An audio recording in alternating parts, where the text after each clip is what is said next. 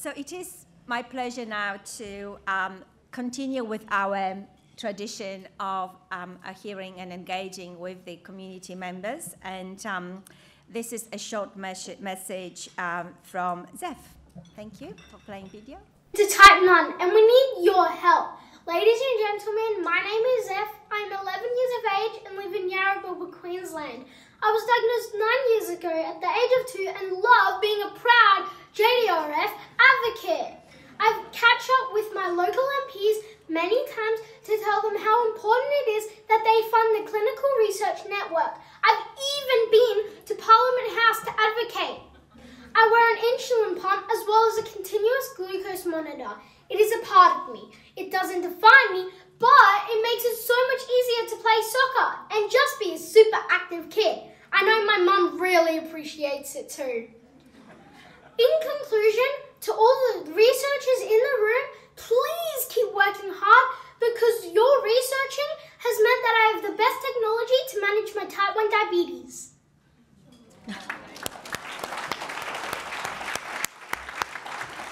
Um, I'm, I'm sure that we're all going to see this young man somewhere important in about 10 years' time because he's uh, undoubtedly a very, very bright and uh, brave young person. Um, it gives me also a great pleasure now to introduce the, um, the chair of our last uh, presentation session, um, Dr. Mary Abraham, who is a senior research fellow at, um, at the technology research team lead in the Rio Tinto um, Children's, uh, Children's Diabetes Center in the Telethon Kids Institute. She is a clinician, she is a researcher, um, a very strong research interest in the field of hypoglycemia and type 1 diabetes. Um, her research and involvement in uh, insulin pump therapy and uh, glucose continuous monitoring is really quite exceptional. So Mary, can you come and help us to chair the next session? Thank you.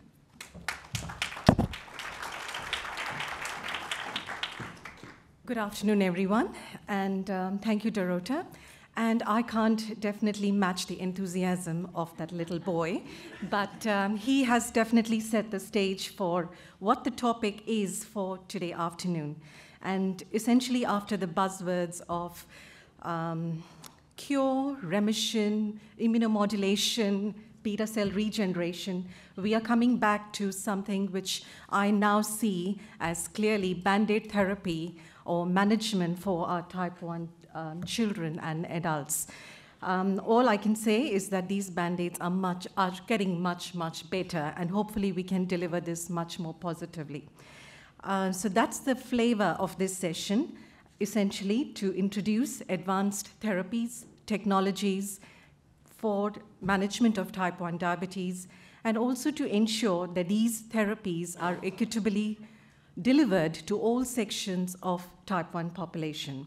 So on that note, I will introduce our first keynote speaker, Professor Jeffrey Braithwaite, He's the founding director of the Australian Institute of Health Innovation, director of the Center for Healthcare Resilience and Implementation Science, and professor of health systems research at Macquarie University. He's a leading health services and systems researcher with an international reputation for his work investigating and contributing to systems improvement. And the title of the talk is Implementation, Adoption, and Policy in the Health System of 2030. So, Jeffrey, the stage is yours. Thank you very much, Mary. So, wasn't that great science this morning? So, what I was wondering as I was experiencing all that great science is how do we get that taken up in the delivery system?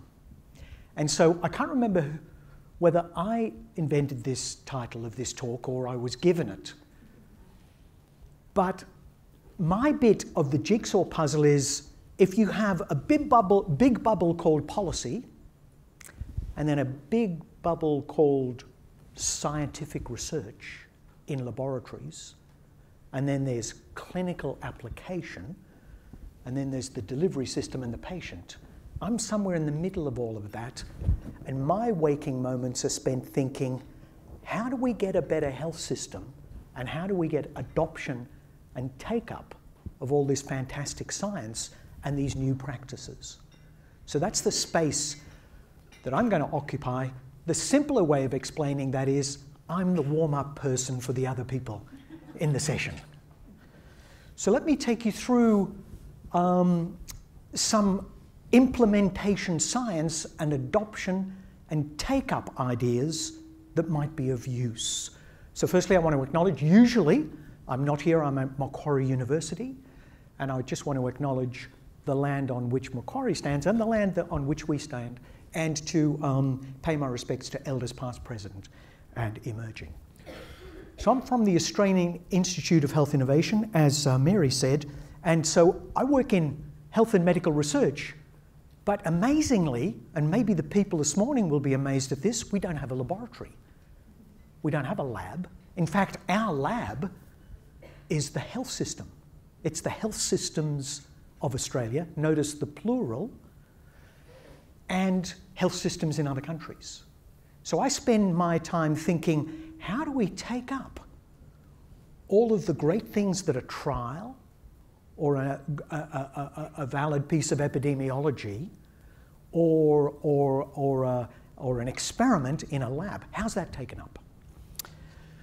So we have five, uh, seven research centres, and why I give you that slide is all the words in there are not about labs and, uh, and, uh, and um, experimental research. They're all about how do you affect change in the delivery system. So here's a wave from us, our group.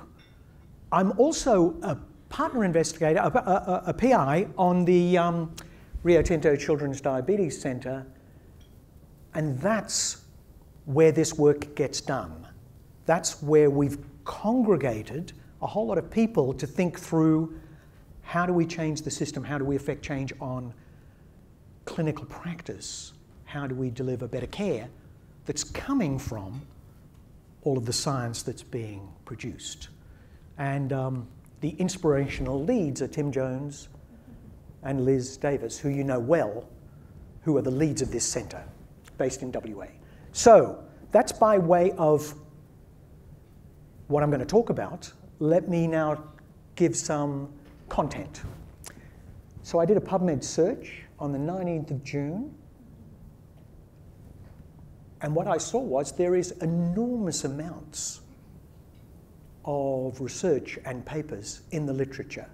And so one question I have of you is, how come you're listening to me? Because you're behind in your reading today. So, who can keep pace with that? Who can deal with even the science that we heard explained to us in the last day and a half, let alone all the stuff there in the literature? So, just you can have a copy of the slides, just for uh, a snapshot, I took a, uh, a, a word cloud of what the literature says. And it's all about diabetes, obviously. This is type 1 diabetes literature, but it's about medicine and universities and studies and research and type 1 and results. That's a snapshot of what all the literature, 100,000 papers said. So, I also looked at the fact that this literature has been going on for ages. So, the tradition here of research is absolutely amazing. People have do, been doing work for decades leading up to the fantastic results we heard in the last day and a half, and especially I heard this morning. So there's papers galore.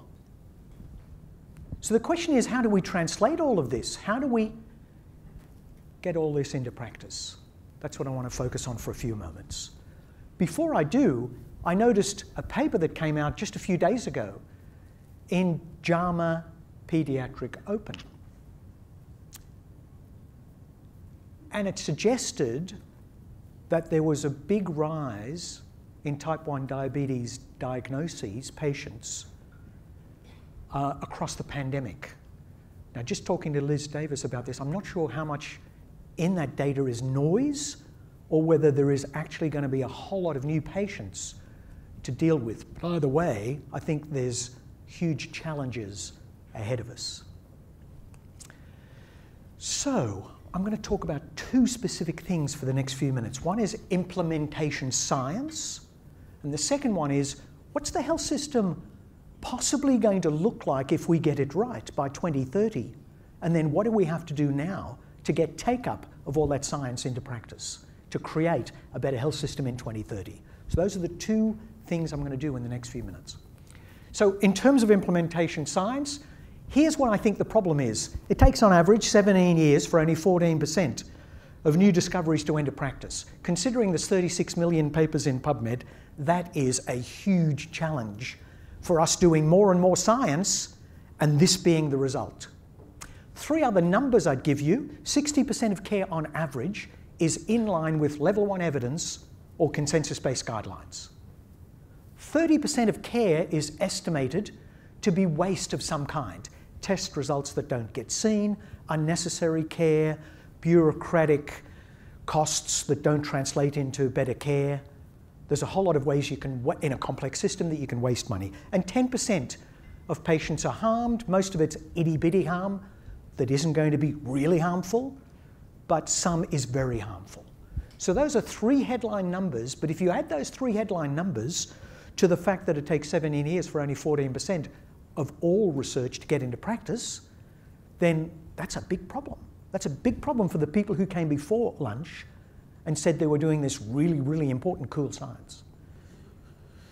So, um, one observation is how much of um, type 1 diabetes care is reflected in those three numbers, because that's based on big epidemiological studies, which we've done and been done in the US and the UK, saying on average this is what care looks like. 60% in line with level one evidence or consensus based guidelines, 30% waste, 10% harm.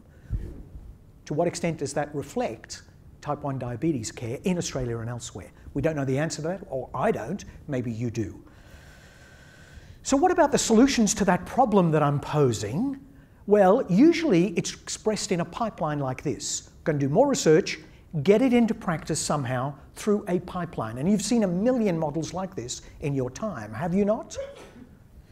The problem is the pipeline is really an idealization, and healthcare is much more complex than that. Or else we would have just put the science through the pipeline into clinical practice.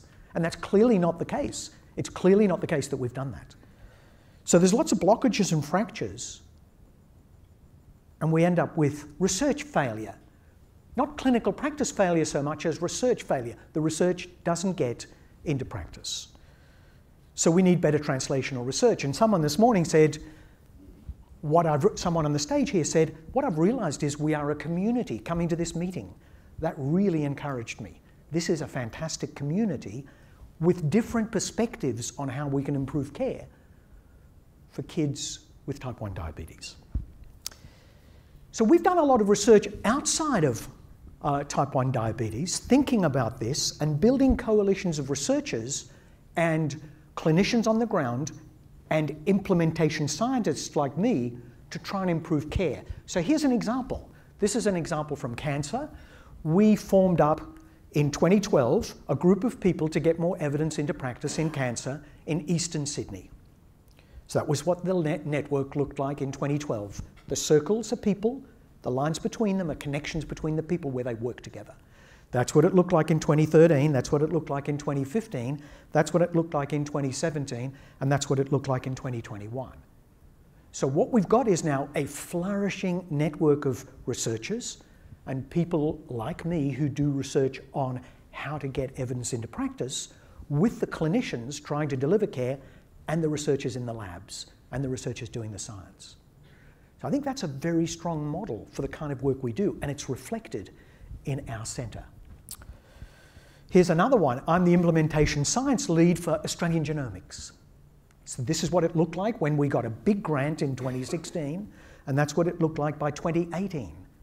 So I wonder what the network map looks like across Australia for type 1 diabetes, all the people who are working from different perspectives in this community.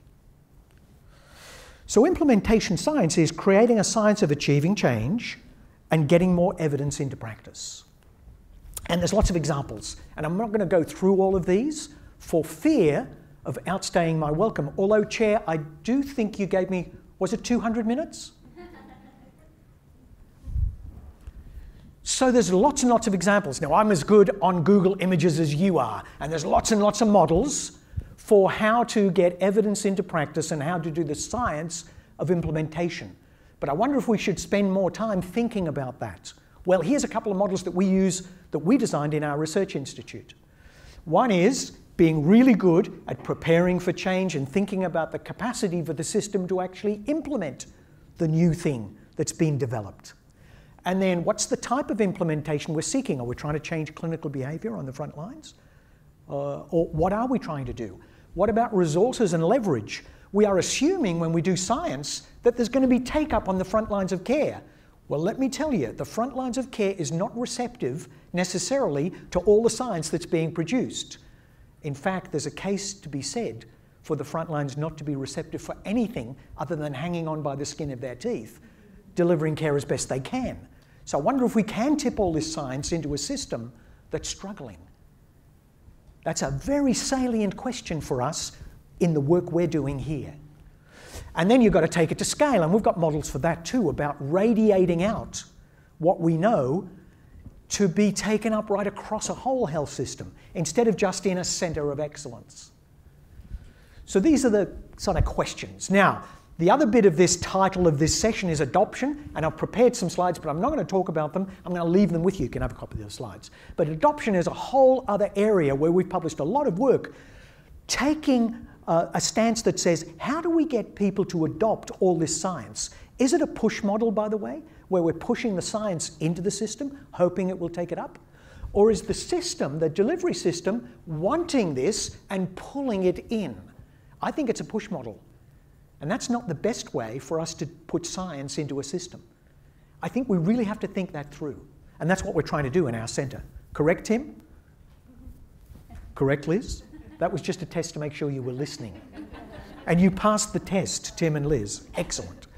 So, I've got some slides on that. I'm going to leave it with you. There's a whole lot of stuff on adoption, the degree of uptake of ideas, behaviours, practices, the way the organisations that we have delivering care are primed and have the capacity to take up what we're trying to have them take up? These are really crucial questions for us, and we probably don't answer, ask them enough or find answers for them. So that's all I want to say about that. I'm going to slip through, and I'm going to talk about one other thing the future of healthcare. The other thing that we spend a lot of our time doing in my institute is thinking through what is it that we want to land on? What's the health system look like by 2030?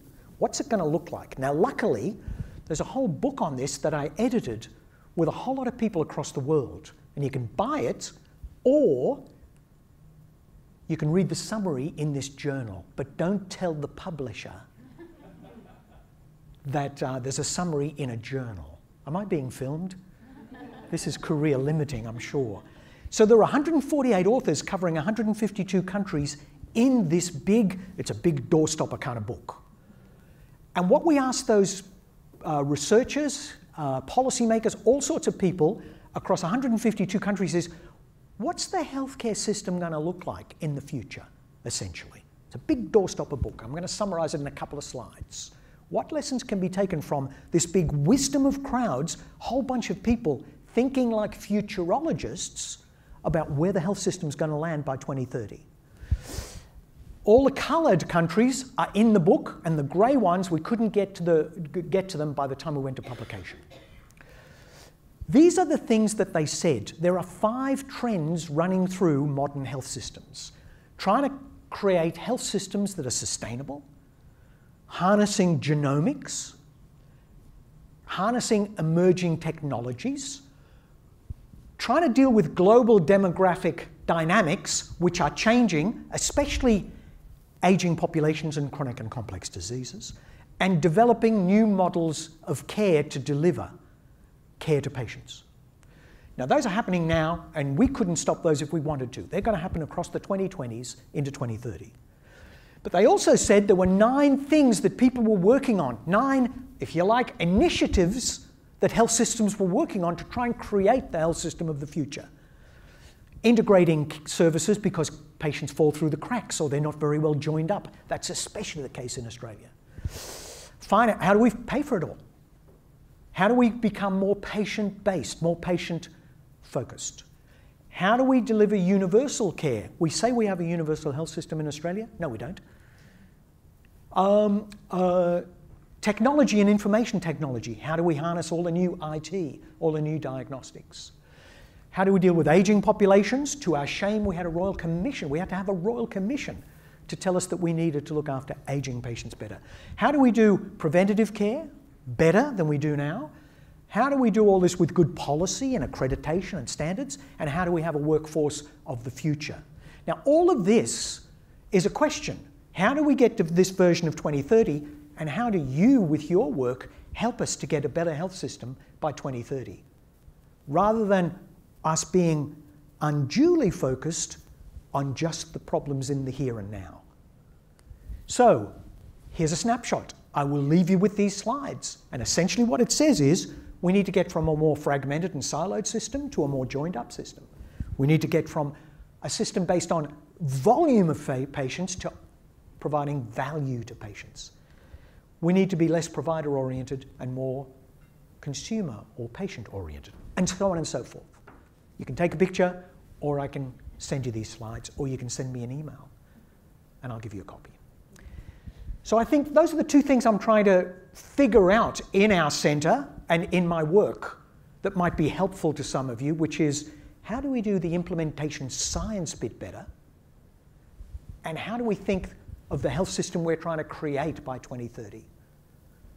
I hope you agree. These are useful questions for us to ponder. Thank you very much for listening.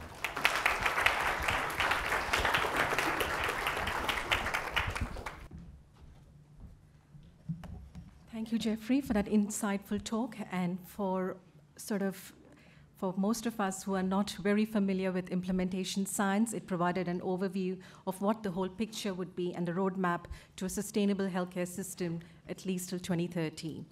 Now, I do also have to briefly remind you that all the questions from the speakers can be um, addressed to them when they're back during the panel session. So we will continue with the talks for now. Um, the second speaker for today is Professor Mark Cooper. And Professor Mark Cooper is the head of diabetes department in the Central Clinical School at Monash University. He was formerly the chief scientific officer of Baker Heart and Diabetes Institute, as well as the director of Juvenile Diabetes Research Foundation Center for Diabetes Complications, and maintains an active clinical practice at the Alfred as a senior endocrinologist. Well, that didn't match the bio. yeah, thank you. yes. I think I'd prefer to be Sybil McAuley, actually, but hopefully we'll, we will have more contact in the next few months now that Sybil is going to find our part of Melbourne as well an interesting place to work at. So, um, so I'm Mark Cooper, and while we're waiting for my slides, um, well, I thought what I would do, first of all, it's very interesting to follow the previous talk. And, uh, oh, my slides have come in. So I've been asked to talk about adjunct treatments for type 1 diabetes. To be honest, I didn't really understand what the topic meant. I asked a few people, including Dorota, and it turns out this is not an area of research I do, so it's very unusual for me to give a talk at a meeting where I'm going to show slides of which I've done none of the work in the slides, or I mean, people that worked with me have done the work. So, but I think it's a very interesting topic actually, and uh, I'm going to give you my perspective. But before I do that, I just want to emphasize I know we've been hearing from these people with type 1 diabetes, and we've got people in the audience that either have type 1 diabetes or children with type 1 diabetes. And I know we mentioned some of the negative uh, aspects, of course, but I do want to emphasize as an adult endocrinologist, we see many people with type 1 diabetes who are coping very well with the, with the condition, and particularly those that do not develop the complications have at least a normal or even a longer uh, lifespan. So I just don't want it to all be so depressing. We have made great progress in the last 30 or 40 years. The lifespan and the morbidity of type 1 diabetes has decreased, and particularly in the area of complications, there's been a lot of very exciting advances. There hasn't been a magic bullet, there's been incremental advances, but they've really delivered some very big breakthroughs. And the outlook for, for example, in diabetic kidney disease, which I've worked mostly in, we've reduced progression by more than 70 or 80%. There's still 20% to go, so it's not over, but I want to give you at least an example of great optimism in the area of type 1 diabetes. So, if we look here at type 1 diabetes, obviously the main treatment for glucose control is insulin. But you will discover that there are many people taking other agents to try and optimize their diabetic control, even if it's off license. And I know many people who are older with type 1 diabetes where the endocrinologist or the local doctor wonders if there might be a component of metabolic syndrome or obesity, and they've added other agents. And you can see here, metformin is commonly used by some people with type 1 diabetes. People use DPP4 inhibitors, GLP 1 receptor agonists, sometimes as part of the associated obesity that some of them will have. And there is increasing use of SGLT2 inhibitors, and indeed, an amylin analog pramlintide is actually registered for optimizing glycemic control in diabetes. So, although most people are on insulin alone, there are many people that will ask you questions or will consider using off label use of glucose lowering agents. And I think this is one of the aspects of adjunct treatment for type 1 diabetes. And these are data actually from Germany and Austria. So, what about SGLT2 inhibitors? Well, indeed, the European Agency has approved two SGLT inhibitors, dapagliflozin, which is the, a classic SGLT2 inhibitor, and sotagliflozin, which is actually an SGLT1 and 2 inhibitor. I won't go through the logic for that, we can discuss it at leisure. But these are complementary treatments that are being used in people with type 1 diabetes who may be overweight, and there is evidence that they confer renal and cardiovascular protection, although most of the data has been in type 2 diabetes. Subsequently, NICE has recommended that these would be very useful, and one of the biggest uses of these agents is in insulin treated type 2 diabetic patients, where they've been shown to be remarkably good at insulin sparing. The uh, companies are worried about using these agents because there is an increased risk for diabetic ketoacidosis and unfortunately they've now been they're not approved. You cannot really use them in Australia, but there is off-label use, I have to admit. So there have been quite a few trials with these agents. This just gives you data from dapagliflozin, and then following that is the EASE program with empagliflozin. This was used in type 1 diabetes, and indeed, these agents do reduce hemoglobin A1C in type 1 diabetes, and they're also associated with significant weight loss and a significant reduction in the insulin dose. So they are agents that work in type 1 diabetes, and it makes sense because the mechanism of action is totally insulin independent and uh, will work no matter what form of diabetes you have. And in actual fact, if you actually look at the real world data in studying people with type 1 diabetes, and I've seen these as data that have been uh, obtained in Finland. The FinnDiane have quite a few patients that are actually taking SGLT2 inhibitors. They've reduced their insulin dose, and there is an increase in diabetic ketoacidosis. So it's definitely a risk, but some people are willing to take that risk. So the concern is that there's this two to four-fold increase in diabetic ketoacidosis, and these are just showing you the data. And there's no evidence how to really reduce ketoacidosis. This was a problem, even in insulin treated type 2 diabetes, but with training by endocrinologists, patients, and doctors, that problem has decreased, but has not completely disappeared in the type 2 diabetes situation. So, how could we solve this? The role of ketone monitoring is still uh, controversial in this situation. What about very low dose formulations? I'm not going to talk about them, but there are some studies with a very low dose of dapagliflozin, 1.25 milligrams, which seems to have some of the glucose benefits in type 1 diabetes, weight loss, and is not associated with ketoacidosis. So I don't think the companies are particularly interested, but this is something where the type 1 diabetes community, it would be worth them trying to further stimulate work in this area because I think these drugs do have a role in type 1 diabetes, not only for the glucose side, but for the amazing end organ benefits that have actually been seen in type 2 diabetes. What about GLP 1 receptor agonists? Well, we've heard the word Ozempic, and I can't remember what the other one, Wegovy, I think it's called. People are talking about these drugs all the time, and now there are dual receptor agonists and triple receptor agonists coming. So these are going to be used very widely in the area of obesity and probably in type 2 diabetes. Now, in most people with type 1 diabetes, the insulinotropic effect of the GLP 1 receptor agonists are not thought to be particularly relevant.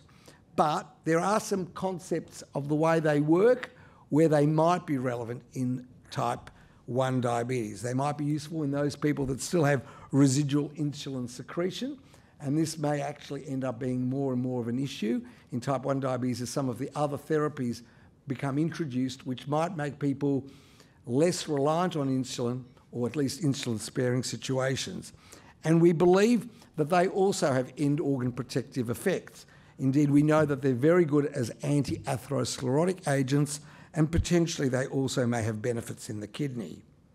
So, these just show you some trials that have been done more than five years ago using GLP 1 receptor agonists in um, type 1 diabetes. And you can see here that there is a reduction in hemoglobin A1C and a reduction in the insulin dose. So there's no question that they will achieve benefits on glucose control, even in the setting of type 1 diabetes.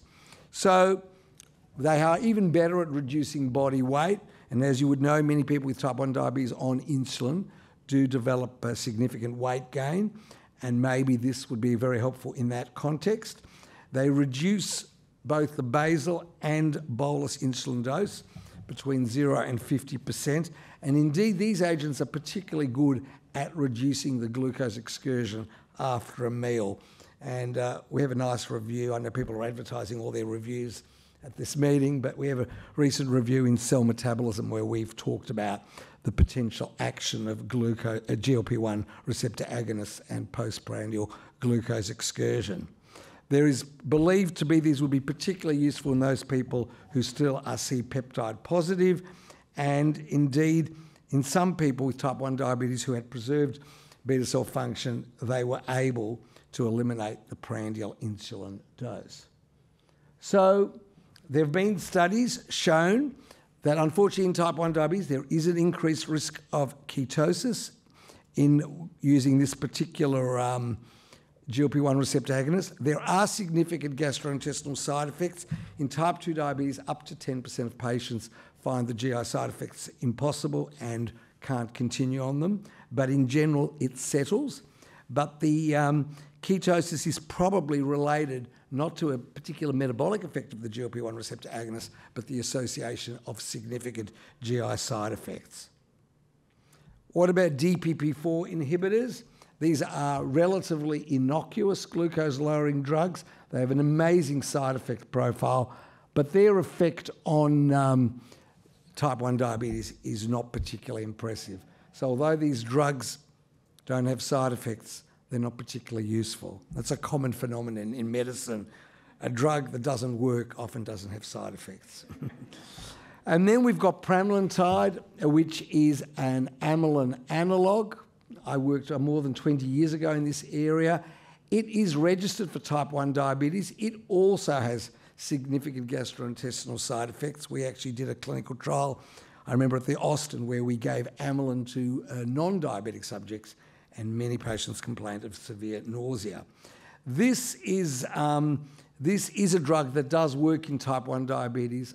It's not available in Australia and the pickup in the US has not been particularly uh, impressive. Nevertheless, we shouldn't forget amylin because, in actual fact, Novo and other companies are considering amylin and related agents as part of combinations for obesity. So, this may be an area that will be revisited in the future. Now, what about metformin in type 1 diabetes? Well, to be honest, the results have not been very impressive. And the meta analysis shows that probably the reduction in glucose is less than 0.1%, and the effect on insulin requirements is also very modest.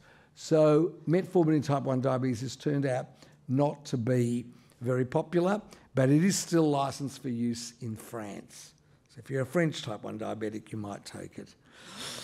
Now, there was the removal study. I think Australians were involved in this, and I think JDRF has supported this. So, one of the possibilities that they thought was even if it doesn't have such impressive effects on uh, metabolism, maybe it'll have an effect on cardiovascular disease because there had been some data from the UK PDS in type 2 diabetes that these agents might be useful, and it's one of the reasons metformin remains the mainstay of therapy in type 2 diabetes. And so they did effects, these are the effects on uh, insulin dose and LDL cholesterol, and they're really very unimpressive. And then you can see here the effect on hemoglobin A1C is negligible, and there's the insulin dose really not very effective. And there's been a whole series of studies, including the removal study, and overall the effect is rather modest. They also did carotid IMT thickness as a surrogate for cardiovascular disease, and it turned out that it was not effective. So, where are we with adjunct therapy in type 1 diabetes? These are all the glucose lowering drugs, and what we would hope they could do in the first column on the left, but ultimately the effects are rather modest, and um, at this stage, only some of the drugs are available for use as adjunct therapy in type 1 diabetes. I think there is so much research going into type 2 diabetes that even if type 1 diabetes just piggybacks on that, ultimately some of these drugs, I think, will end up being of value to type 1 diabetes, either affecting glucose, weight gain, or the end organ injury that remains the major cause of morbidity and mortality in type 1 diabetes. Thanks very much. Thank you, Professor Mark Cooper. And that was a great overview of the adjunct therapies, and especially from a pediatric endocrinologist perspective who does not prescribe anything other than metformin and insulin. So it's completely a new field for us. So the next um, keynote speaker is whom I think we had right previously.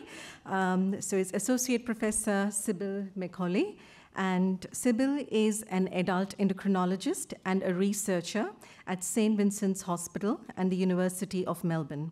Sybil leads a research program which investigates insulin pump therapy, exercise, sleep, psychosocial well being, and advancement of closed loop insulin delivery systems. And hence, the present title of a talk is Improving Health with Diabetes Therapeutic Technology.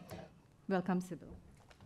Hello. So it was great to be impersonated by an international professor, but I'm not Mark Cooper, I'm Sybil, and um, it's lovely to see friendly faces in the audience. So I am here flying the flag for, I think it was paradigm shift number five from Professor Ruiz yesterday.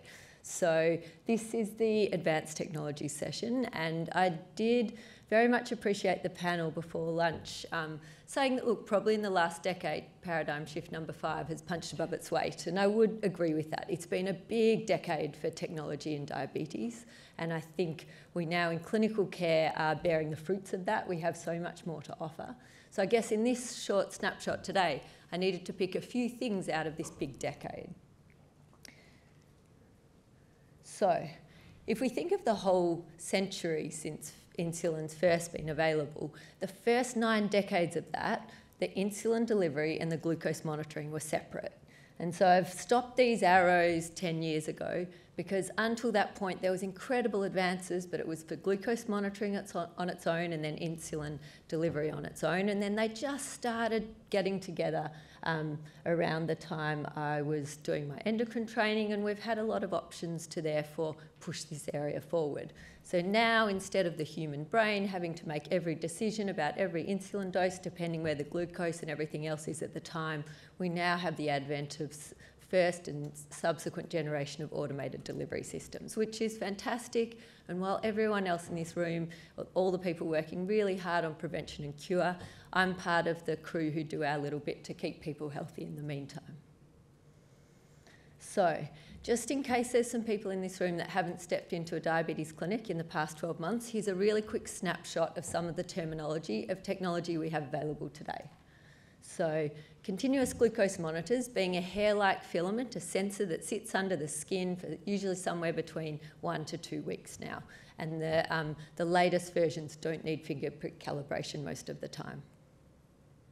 Secondly, there's a pump. And the reason I put this here is just to remind ourselves that this is subcutaneous insulin delivery near continuously of rapid acting insulin analogues. And when I come to some of the slides, you'll see why we've just revisited that. So now um, there's um, sensors that can talk to pumps, pumps can deliver manually, and there's the um, early generation automated um, systems that have the sensors and the pumps working together.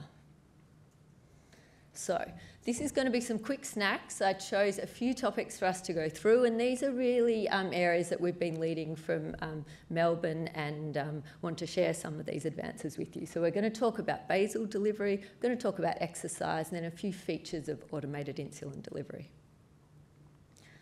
So if we rewind to a decade ago, bizarrely, there was this evidence gap for this um, subcutaneous basal delivery. At that point, the options were long acting insulin injections or pumps that were starting to get information from glucose sensors to turn off. But um, the studies at that point were really looking at so if the basal delivery was stopped on the right here, how long. Um, how long does it take for the insulin levels to go down? Or on the left, it was let's double the pump rate and see what happens. But actually, when we looked at our clinic data, most of the people had basal rates of about one unit an hour, and they were changing by about 0.2 units an hour. So we had a look at that, and in this study, we took that basal rate change, we increased it by that much, reduced it to see what happens, and lo and behold, very little happened. In fact, after reducing it, many hours um, went by and there was no change in the circulating insulin levels. When we increased it, it even then took a few hours to change. And I guess that was all being built into algorithms for the automated systems. But we needed to understand these clinical decisions we were making, adjusting basal rates in clinic, and when people were adjusting their pump safe for exercise, what was happening. And realistically, that insulin, the current insulin preparations, are hanging around for a very long time.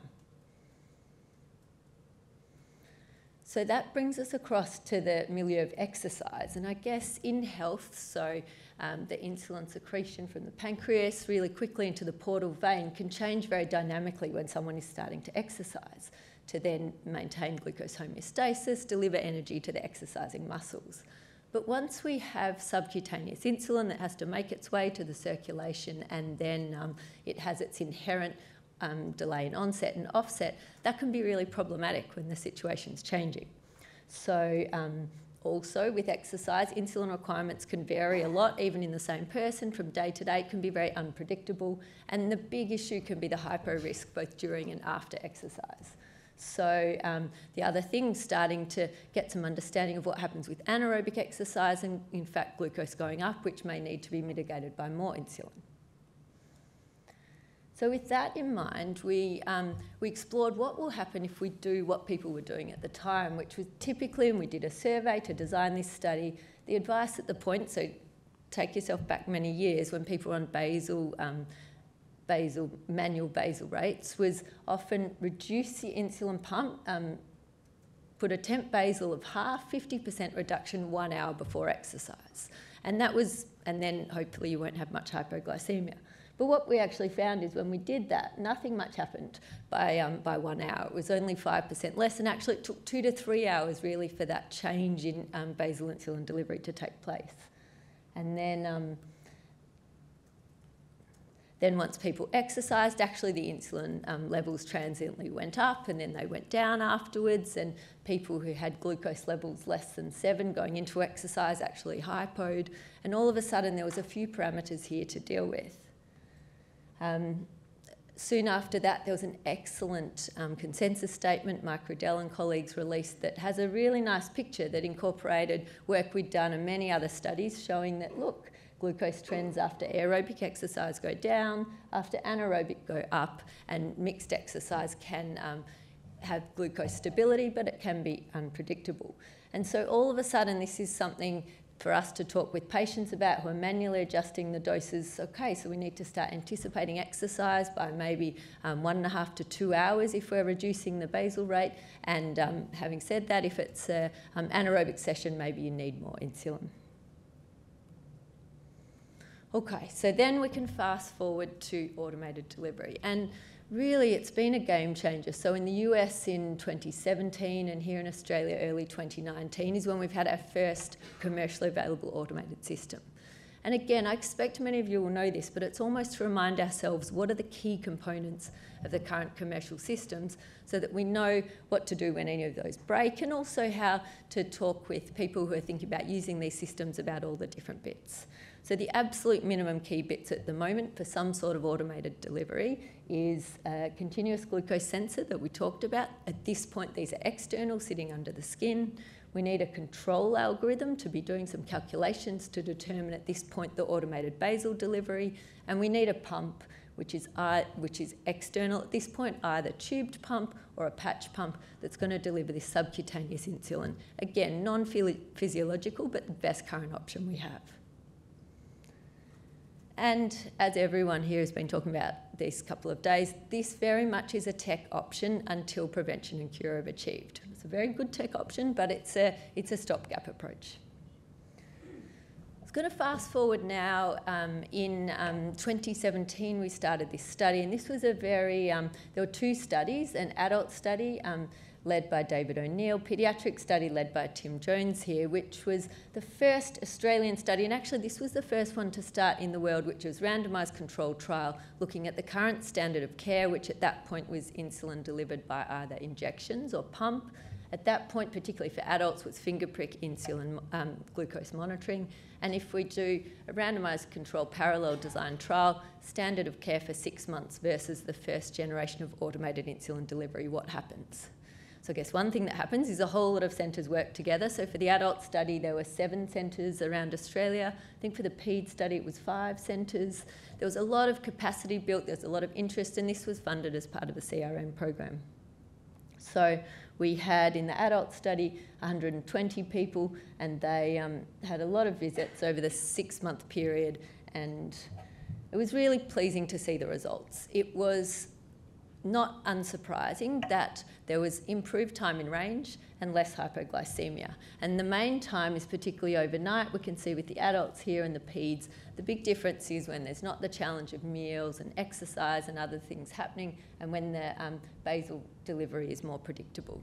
So there was substantial improvement in time in range, less hypoglycemia, and then consistent with other studies that were at that point happening around the world. We then combined these, so we're looking at automated delivery and exercise, because at that point it hadn't been looked at. So this was actually beforehand, before the commercial system was available. So with a first generation system, if we announce exercise, so we change the target from at that point 6.7 to 8.3 glucose target, we do that a couple of hours before exercise. As we've seen in previous work we'd done and elsewhere, if the glucose is low, so less than seven just before exercise, let's have a um, supplementary carb load. And at that point, we could see that um, the glucose during exercise, I think some of it's disappeared on the slides, but it, it was safe. There was um, no significant hypoglycemia during exercise. It was all mitigated by that announcement, changing the pumps, having the carb load, and um, the different types of exercise, um, high intensity or moderate intensity, we'd see a different response. We also could distinguish with those two biochemically. We then also looked at resistance exercise. This was a three-way study involving um, Australia and in centre in Canada as well. And we could see here that once we extend the observation overnight, people were safe. So these systems, when exercise was announced, people didn't have major hypoglycemia that wasn't easily treated. There was um, and a differentiated counter-regulatory response, sorry, depending on what type of exercise was done. So I guess here what we're looking at is if we could detect these, um, these conditions, so exercise and what type automatically, could we feed that into an automated system, give some more signals? So we're looking at adding things beyond just glucose information for the algorithm to take on board. Okay, I'm now going to jump across, and I think we've had a lot of talk about paediatric studies and um, we've done our own adult work, but until this point, actually, most of the studies had excluded older adults, literally including our own. There's this hard cut point at you can enrol people up the age of 60 or 70, and that's it, they can't participate. And it's not like diabetes goes away when people get older. So we have a whole lot of, and I think echoing Mark Cooper's. Um, sentiments. We have a whole lot of older adults who've lived for many decades with type 1 diabetes. And in fact, I find in clinic they can be a history lesson in themselves, telling us about what um, management they've had over the decades.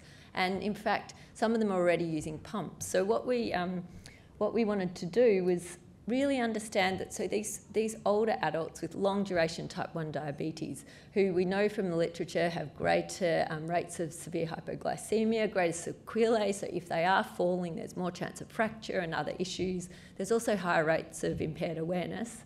So um, what's, how are they going to go with, um, with technology? Should they be included as well?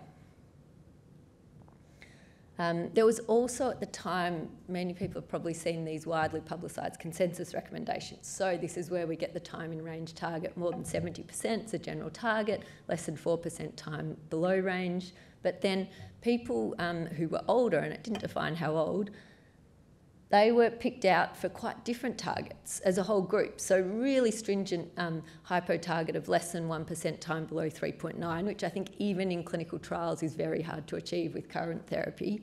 But at the same time, let's, um, let's be happy with the time in range target of 50%. And that's not a very high bar to aim for. And if people were healthy and um, on board with using anything for their diabetes therapy, then why, why have it such a low bar?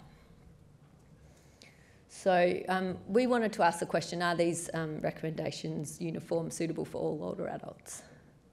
And um, with funding from JDRF in the US and um, seed funding with Diabetes Australia, we undertook the ORACL study, so that was older adult closed loop study. So that was um, at two clinical sites in Melbourne and um, what we had here was randomised crossover study looking at adults who'd had had their 60th birthday, they'd had type 1 diabetes for at least 10 years and they were already using a pump. And um, importantly to point out, this group were not frail. They could have some cognitive impairment. We um, enrolled people who were happy to with mild dementia, but not moderate or severe dementia. And um, we had a good look at their clinical status in terms of frailty, functional status, so we knew who was doing the trial. And ultimately, they were a relatively fit and healthy group of older adults. And what we saw was, um, in fact, results that mirrored the younger people. So we could see here, and um, so and bear in mind here, the comparator is actually sensor augmented pump therapy. So unlike the um, trial with younger people, here we've got a really high bar comparator, sensors, pumps, and the only difference is the algorithm. And even with such a high bar comparator, there was more time in range, particularly overnight, less time hypo and less time less time high, which was a really good segue to say we don't need to limit necessarily trials and certainly not clinical care um, by an upper age group.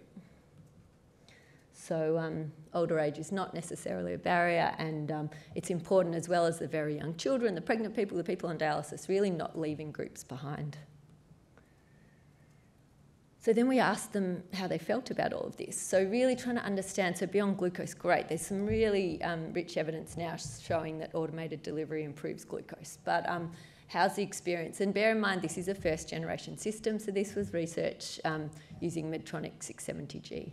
So um, definitely people were happy. They were happy having glucose um, glucose levels more um, more in healthy range, less hypos, and um, particularly overnight. I think there was people touching on yesterday, or actually John, the transplant recipient this morning, that waking up in a sweat every night and feeling like a truck had hit you.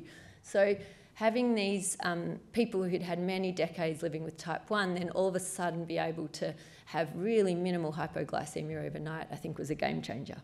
Um, but what they did say was the downside this first gen system was disruptive alarms. So we had a look at that. And what we could see here, so this is sleep. So people were wearing um, non-invasive sleep monitors. It's not just overnight. We confirmed people were sleeping. And um, what this shows is that firstly, there was in confirmed sleep after the first three or four hours, there definitely was better time in range in the um, intervention arm. But then we look at the alarms, and although there's much um, fewer low glucose alarms in the red, which is the intervention group, what happened actually, the total alarms were much more. So these alarms were a pain because they weren't low glucose, people were asleep, and really they didn't want to be waking up for that. So I think one of, and it's a first gen system, so the, these were very noisy systems, but one of the call to everyone with um, looking at this data was saying we need to look at this when we're doing trials. We can't just look at glucose, we can't just look at other survey results. We need to look at things that are important for people, and alarms during sleep are really important. So, um, sleep itself, prioritising that in these studies, and I guess with any intervention, whether it's tech, whether it's transplantation, all of these things need to look at outcomes beyond glucose. Um, we've had a look at driving. We've got some other data um, getting ready to be prepared. So with driving, historically, when people weren't wearing CGM, people um, not wearing CGM, driving can be potentially a very risky activity. So the old guidelines used to say check before you start, make sure you're above five, and then check every two hours. Two hours. Think how many lanes you can cross and people you can run into in two hours if someone doesn't have awareness and is not doing it well. Whereas the new guidelines, it's now very much encouraging everyone with type 1 diabetes, if they do have access to um, glucose sensing, to wear CGM during driving, have active alerts. And so this was an early study that looked at people not wearing um, real-time CGM. We had masked CGM results and it certainly showed on the right. If people were above five when they started, then they typically stayed in a, um, in a healthy non-hypo range, but people who started low really did go low, which um, is something we want to avoid. All right, we're just about finished. So to bring it all together, this is where we're up to in 2023 in Australia. We now have three commercial systems, which is fantastic, having these options to present to people. And they all are backed by really strong trial evidence. On the left, we've got the, um, the Medtronic early systems with trials that were done in Australia. In the middle, this is um, out of North America, the Control IQ tandem system, which had some um, very similar findings of improved time in range, less hypoglycemia. And this is Roman Hovorka's Cambridge group, some of their early work. Now that CamAPS is um, finally available, there's a wealth of data um, trials behind that. I've made this table, not for you to get all the details, but you're most welcome to take a photo if you would like. This is for us as a clinician having a think about what are some of the key bits when I'm talking clinic with someone who's thinking about a system. What are some of the key bits for me to think through to talk with them about for options that are available? And um, there's definitely no one size fits all. Not everyone wants to use a pump or sensors, but for people who are at this point willing to wear both, because there's two bits of hardware that need to be worn, these are the, some, of the, um, some of the different parameters, and I particularly want to point out for exercise. So if someone is um, quite insulin sensitive and is undertaking a lot of exercise, then I would say that the options in the automated mode are a big aspect to help them choose because some of them are um, less um, adjusting for exercise, such as I would say the ease off where whatever, so someone, they have personal glucose targets in CamAPS, but then the ease off function is a one step up. It will increase the target by 2.5 and it doesn't necessarily tend to be enough. The Medtronic system has three targets now 5.5, 6.1, 6.7 that people can choose between, and then there's a fixed target of 8.3 for exercise, but that does also shut off the auto corrections when they're in that mode. So these are just some of the nuances that it's worth understanding for anyone who's prescribing um, automated insulin delivery.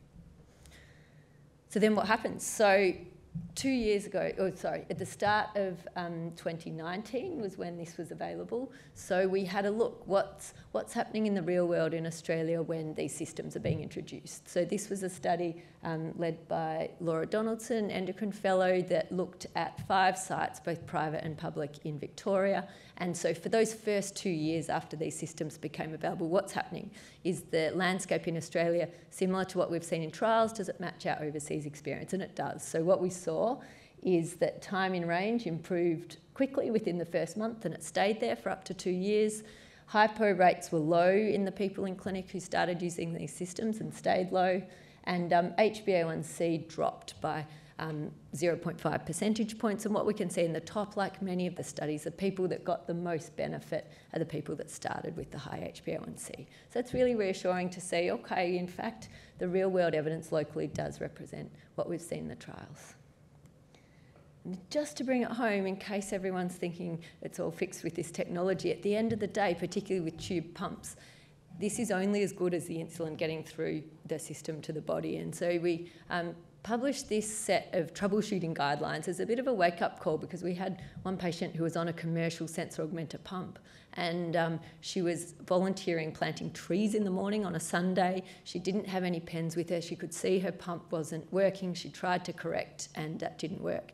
So by the time she presented to uh, a different hospital, tertiary emergency department. She wasn't ketotic, she was just hyperglycemic and struggling, but she managed to end up in cardiogenic shock in intensive care because they didn't work through a systematic approach to troubleshooting. So I guess it's just to remind us at the end of the day, um, patch pumps don't have the tube, um, the tube pumps do, and working through potentially a systematic approach to see what's going wrong if the insulin's not going to be there. Because no matter how sophisticated the algorithm is and how accurate the sensor is, if the insulin's not getting in, we can still get into trouble quickly. That reminds us it's just a tech option until the cure is there. That's it. So, in summary, we have talked through a few things with tech. At the moment, it is here to stay until the prevention and cure are achieved. But Brilliantly, we now have CGM subsidies for everyone with type 1 in Australia, so that gives access to the real time glucose information, the alarms. We've now seen automated delivery really rolled out safely across the lifespan, though there are still some subgroups who need to be um, studied particularly, um, such as, for example, older adults with cognitive impairment who are needing a lot of assistance. Um, so there are still some groups who haven't been fully studied, but there's a lot of evidence out there both in trials, in the real world, and um, we've still got the challenges of this insulin being pharmaco, um, the pharmacokinetics and pharmacodynamics of these preparations. At this point, the commercial systems, they're all single hormones. So these are insulin-only systems. In research, there's glucagon plus insulin bihormonal systems that work a bit like the accelerator and the brake, but we don't yet have these in clinical care. And um, some of the holy grail really for the tech will be the fully closed loop for every person with all types of diabetes. So we're not there yet, we're, um, but looking for unannounced meals, unannounced exercise will be some of the next steps and looking at a whole lot of outcomes beyond glucose. And then there's the future. So there are so many things we can look at. We can look at advanced sensors, looking at other things beyond glucose, faster, smarter insulins. We um, need to look at many outcomes, particularly psychosocial, functional status, um, and other circumstances such as driving and sleep, where someone's not paying as much attention to their glucose, um, look at different populations. We need to look at advancing the tech itself. So, um, more work with patchless pumps, interfaces that accommodate someone who's got sensory impairment, um, little people, big people, um, and having implantable long term glucose sensors will be a new game changer because at the moment, where these sensors are external, if someone's running a marathon, they sweat off, someone might be wearing a slinky cocktail dress, these pumps and sensors don't fit. So we need to work with wherever everyone's up to with their lives. We need automation to be reliable. And then, of course, and I think some people have touched on this, and it's going to be spoken further about later. The health economics of this is really um, often something that doesn't get thought of till late in the picture, and it really probably is something that has to be thought of when we're even designing the technology and thinking of how to create it. And the equity of access is huge, and I'm going to let some of the experts talk on that. So with that, it takes a village to raise a child type, um, and this area of diabetes technology has had many people involved. Um, many people came before me. I hope there are many people coming after me, and a lot of the fellows and students did all this hard work. So I thank them. I very much thank all the volunteer participants, their families, because it wouldn't have happened without them, and the funding bodies. Thank you. Thank you, Sybil, for that overview of technology, and especially in a field where we consider closed loop therapy as a strongly recommended management option according to various consensus guidelines. So, the next speaker is Professor Tim Jones. And Professor Tim Jones is a senior pediatric endocrinologist at Perth Children's Hospital, is a clinical professor at the University of Western Australia, the area director of Research for the Western Australian Child and Adolescent Health Service and the co director of the Rio Tinto Children's Diabetes Centre, JDRF's Global Centre of Excellence. He's internationally recognized for, his, for the clinical investigations and leadership in childhood diabetes. And may I also add that he has been my supervisor and mentor during all my research projects. And I think it's fair enough to acknowledge and say a thank you to him. And so his presentation title talk is Translation in the Real World. Thank you. Thank you, Mary, and except for the senior bit. um, uh, so I, am going to talk about uh, translation in the real world. And until about an hour ago, I didn't know what Jeffrey was going to talk about. And what I'm, what I'm going to mention and, and go over is some of the aspects that, John, uh, that uh, Jeffrey's talked about, uh, some practical implications of it. Green button. So um, I'm going to talk about where we've been, where we, what we've learned, and what the challenges are for the future. Now, the theme of this uh, whole symposium has been the last decade. I'm going to go back three and a half decades to start with, because I think that shows the, the change in pace that's happened in the last decade. So this is uh, this is the this is going back to 1986. This is the average hemoglobin A1C of just about every child in Western Australia uh, over that time period. Our service looks after over 98% of children. Uh, and you can see uh, the change in A1C that's occurred over the years. Um, you may think that the hemoglobin A1C was very high in this early, and it indeed was, and, but I think it's representative. I think the whole picture is kind of representative um, of uh, at least Australia and possibly other parts of the world.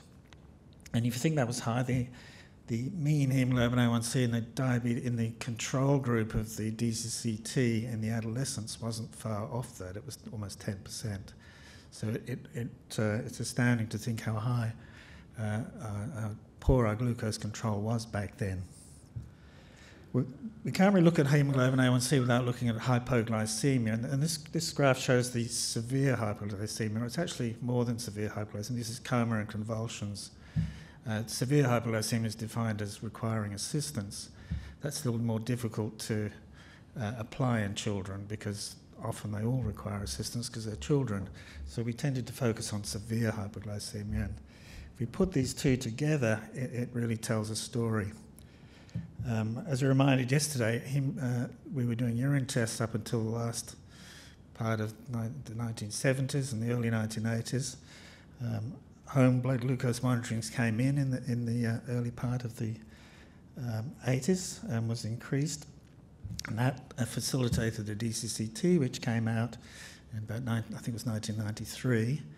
And you can see that hemoglobin actually starts to drop once we uh, learnt about the reasons for actually having to improve diabetes control.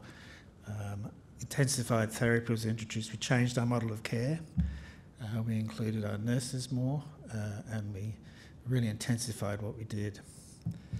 Uh, and then a bit later on, we had pumps and MDI coming in. Uh, you can see what happened to severe hypoglycemia once we intensified therapy, much like the DCCT. Um, we were seeing 20% of our the children in our clinic having a convulsion uh, each, each, year, which is an astounding high rate. Um, and that really, that severe hypoglycemia limited our ability to improve control further. You can see it sort of hovers around 8% for a number, a number of years.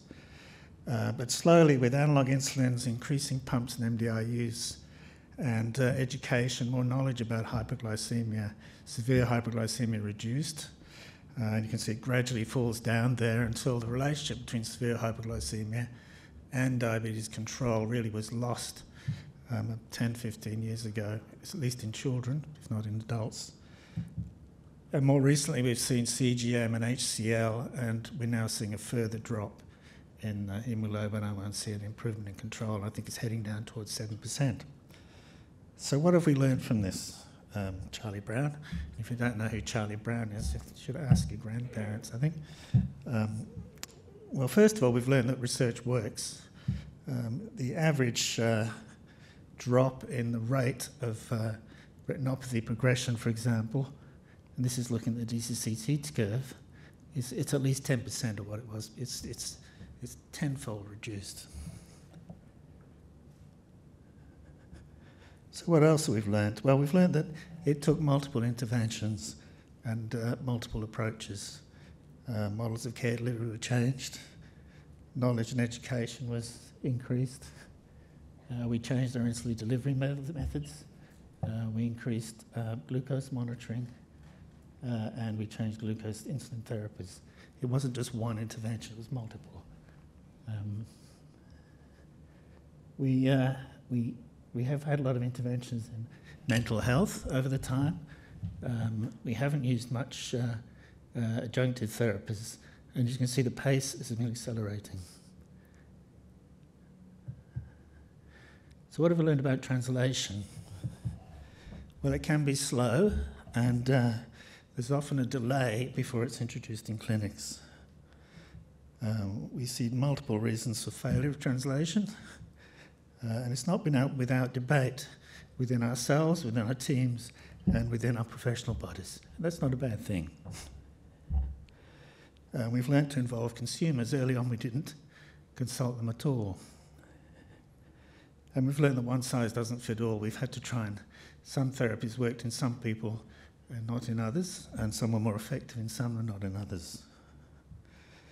Uh, and more recently, as uh, um, Sybil alluded to, equity of access has become uh, a challenge, especially as these new devices do cost. They're not always covered by the funders. This is an example of a study we did uh, 10 years ago, funded by JDRF. We, we uh, looked at the glucose suspend system for hypoglycemia, and we, um, we thought we were, this was Mary, Mary led this, uh, well, Mary was part of this. Um, we included hypoglycemia people, which was unusual because usually they were excluded from trials, and we had clinical hypoglycemia as our outcome. And it was published in JAMA. We thought we were pretty smart about that. Um, we, got, we did an economic analysis afterwards, which showed it was cost effective. And then when we looked at the outcomes, uh, two or three years later, very few people were using it. So, why was that? These questions we need to ask about uh, um, our translation, our trials, and our devices, and uh, our new therapies. Was it clinician inertia? Was it a regulatory problem? Was it funding? Was it unacceptable to people with, with diabetes? Was it a staffing resource, resources issue? Uh, was it simply superseded by the time we actually got all the studies done?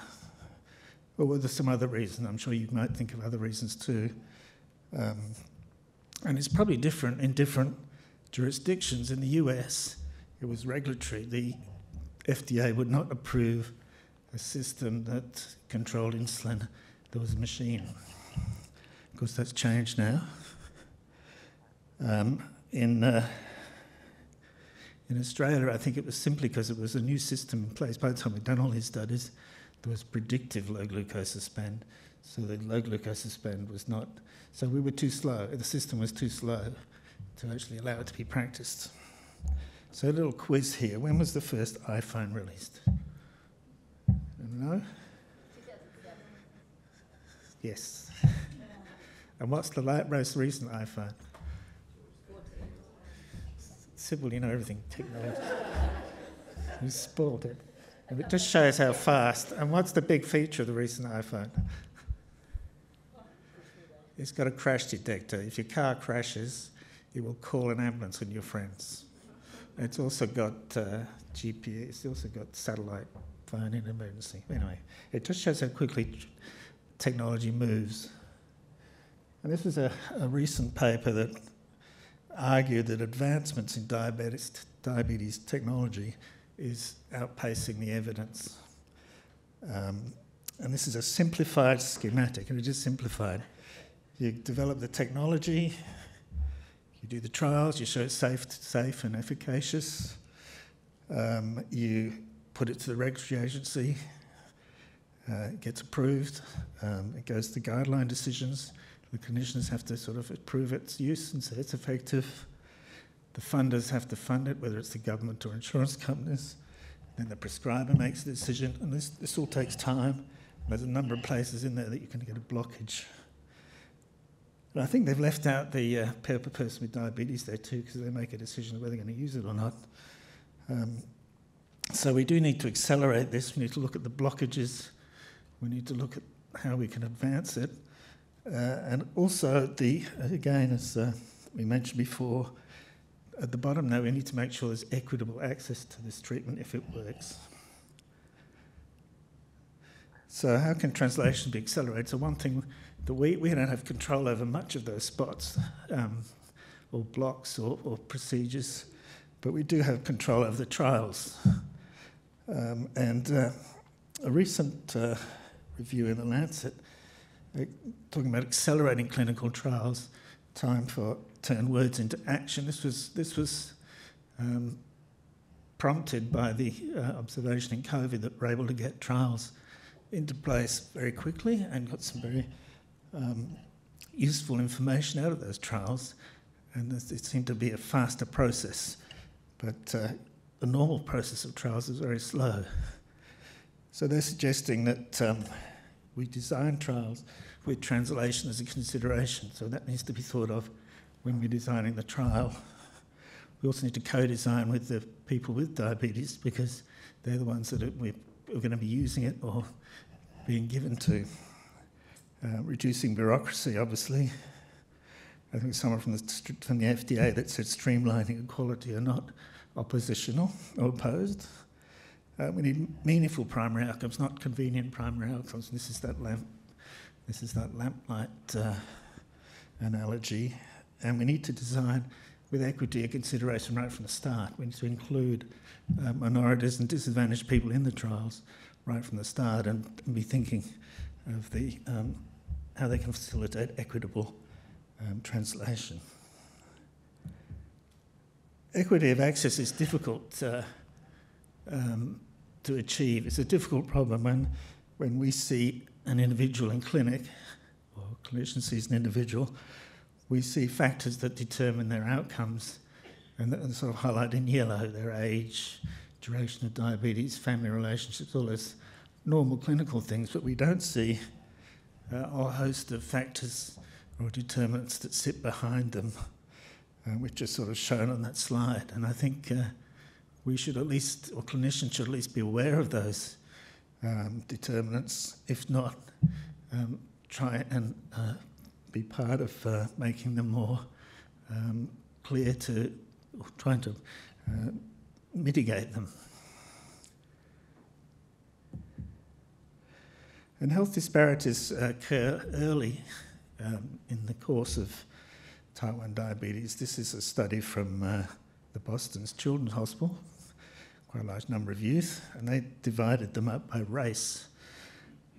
And they found that within 9 to 12 months, there were significant differences in outcomes in those, uh, in those children. Um, depending on their racial, uh, or of course, race is a marker for many other um, social um, situations and disadvantages, but this was, this was how they divided them. And we need to understand better what the drivers of this are so that they can be addressed. Is it just access to technology? It's probably a lot, lot more than that.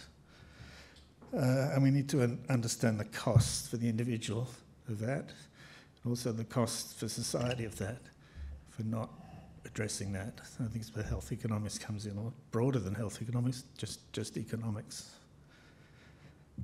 Uh, this was, uh, you probably, the paediatricians in the room will be familiar with this uh, comparison of German outcomes and US uh, outcomes. The T1DX is obviously the, the US uh, outcomes, the DPV is the German outcomes, and um, increasing disadvantage which goes from right to left, uh, is associated with a higher hemoglobin A1C across all different five quintiles of uh, socioeconomic uh, status, both in, in the US and in, and in Germany. It's there, but not quite as marked.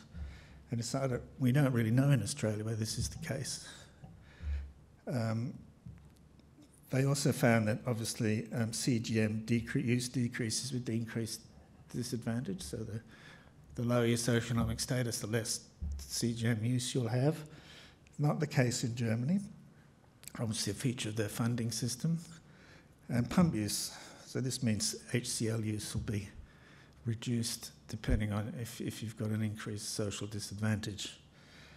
Um, obviously, this is a this is a registry study. You can't link causality here, but it's unless you postulate that your lower socioeconomic status means that HCL doesn't work, there has to be some link here. And this was uh, an interesting paper, that very recent paper that shows uh, where we should be going with, with our trials. This is a trial of uh, a particular type of um, HCL system, and they recruited broadly from the, from the socioeconomic and racial groups. So they included minorities in their trial. And they were able to look at that minority and they showed that they had just as, just as good a response to the system as, um, as people in more privileged uh, circumstances, which really um, is uh, powerful ammunition to, to advocate for universal access to these systems. Um, and it does illustrate also that we do need to, when we're doing our trials, we do need to try and include uh, minorities, disadvantaged people, because very often we include more educated people in our trials. I think if we went back and look at that, we'd find that uh, that was the case. So this is the uh, Bronfenbrenner uh, model. Uh, it was really devised to um, to, to um, describe childhood development in terms of four, five systems um, uh, that that child sort of interacts with. And we've modified this for, for diabetes, um, and it's very complicated. I'm not going to go through all the details, but it does. Uh, a child with child with diabetes has family, exists in a community, and exists in a society, has interactions with um, uh, a wide group of individuals and, and organisations. Uh, and uh, research, research translation, clinical care has not always taken uh, this broad, broad view of a child um, and its outcomes. And if we're to be successful in improving outcomes, uh, at least in paediatrics, um, we're going to have to uh, appreciate this, this complexity. So, what are the challenges? Um, they're, unlimited challenges. I'm just put them down as questions. There's unlimited questions. Um, how do we effect, accelerate effective therapies into practice? This is still a major problem for us, and it's still something we need to address. How do we get that pathway moving more quickly before the, what we've got is obsolete? Um, and how do we develop and implement new models of care? We've got new therapies, new approaches, uh, new challenges in, in funding. We really have to look at new models of care. And, and how do we do that? We, don't, we haven't done it significantly over the last 50 years, but I think the future is going to uh, challenge us to, to look at our models of care to make them more efficient and uh, more equitable. Um, how do we exploit digital advances? We've got massive digital advances in the last 10 years. We really haven't utilised them in medicine, certainly not in diabetes care. And how do we do that? And how do we ensure we have access, all have access to new therapies? Uh, and how do we remove these disparities? Uh, and, and, how do we personalise care? Because not all therapies work for everybody equally. Uh, when we take a, when we just think everyone has an average response, um, we, we lose the details. Uh, and how do we move uh, clinical trials to improve their efficiency and really meaningfulness so that they can be um, accelerate translation. And finally, how do we encourage the next generation of researchers and innovators? Because the, the, uh, it's, it's getting increasingly difficult to um, encourage uh, people to, to move into research and innovation and to, to put things, uh, to, to move things forward. So capacity building is something that is a big challenge for all of us going forward. So they're my views of the challenges. I'm sure there's, I just ran out of, ran out of places to put questions. It could have gone on and on and on. But uh, um, thank you for your attention. These, these are my acknowledgements. People in the Global Centre of Excellence and uh, people living with diabetes and of course our funders. So thank you. Thank you, Tim. And um, this really sets the stage, um, as he's highlighted the significant disparities in the glycemic outcomes, for the next talk, which is by Professor Louise Maple Brown. Professor Louise Maple Brown is a senior adult endocrinologist at the Royal Darwin Hospital, deputy director research, and senior principal Research Fellow at Menzies.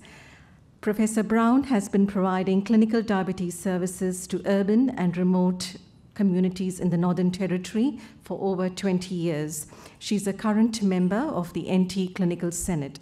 And the title of the talk Challenges of Type 1 Diabetes Care in the Disadvantaged and Remote Communities. Thank you. Thank you very much for the introduction and for the invitation to speak today.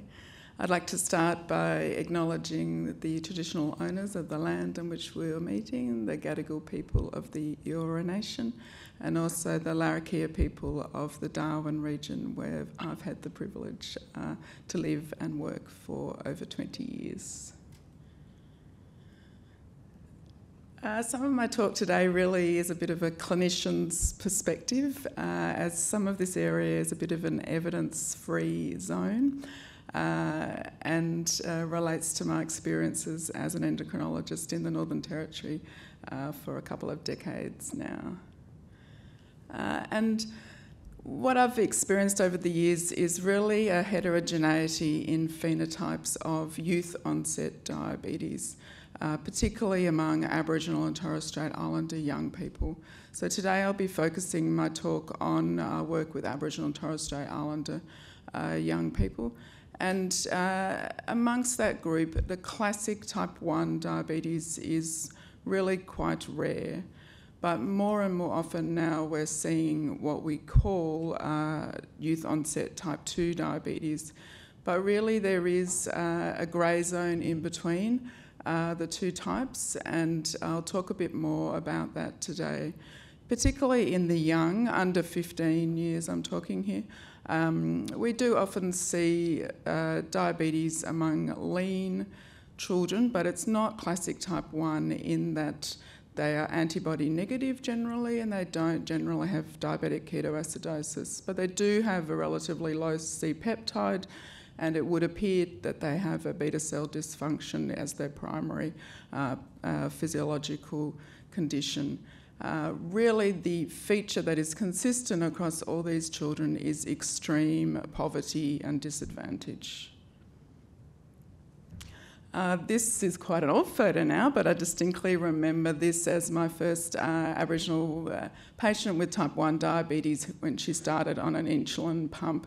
I think this is at least 15 years ago now, uh, but she does remind me of some of the complexities uh, of managing type 1 diabetes in the setting of disadvantage and also the heterogeneity of phenotypes uh, this young woman does have type 1 diabetes. She does come in with ketoacidosis, and uh, her sister also has type 1 diabetes, but I also see their mother, and she has very clear type 2 diabetes.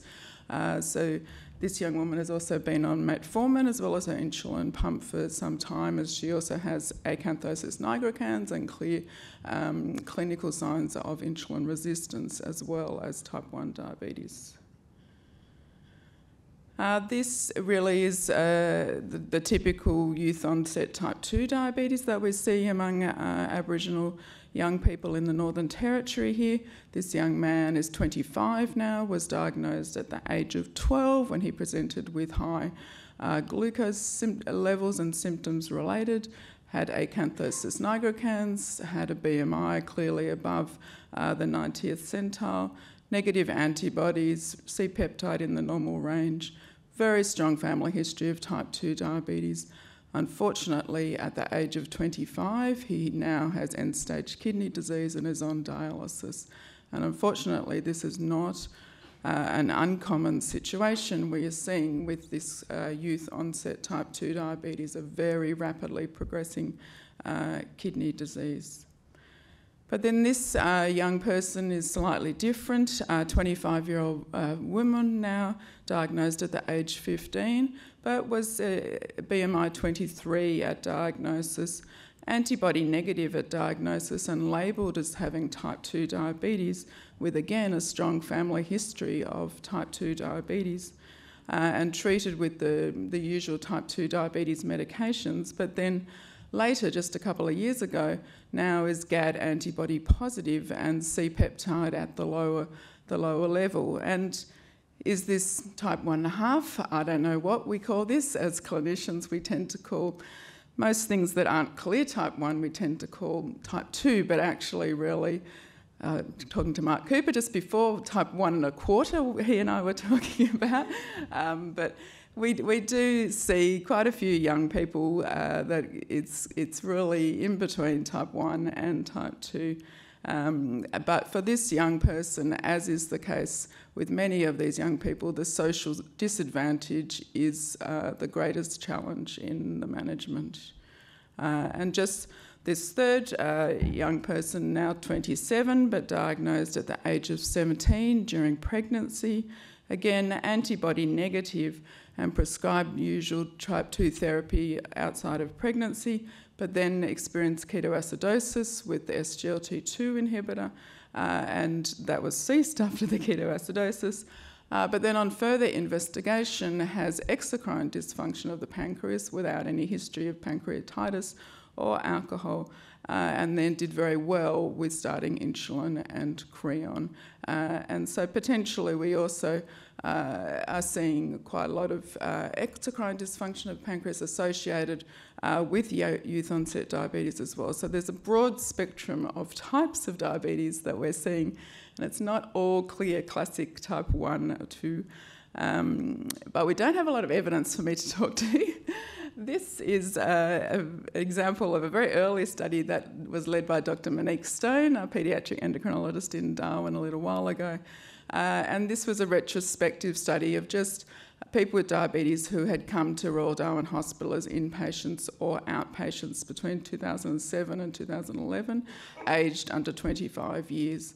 So you can see there at that time we had more young people with type 1 than type 2 diabetes. That's no longer the situation. We now have much more type 2. Um, but you can see there a, a, small proportion of those with type 1 uh, did identify as Aboriginal and Torres Strait Islander at 17%, but much higher for the group with type 2. 84% of those are Aboriginal and Torres Strait Islander young people. Uh, the better evidence we have is much more recent, led by Dr. Angela Titmus, our only paediatric endocrinologist in the whole of the Northern Territory. Uh, and this was a key paper from her PhD that she's recently been awarded.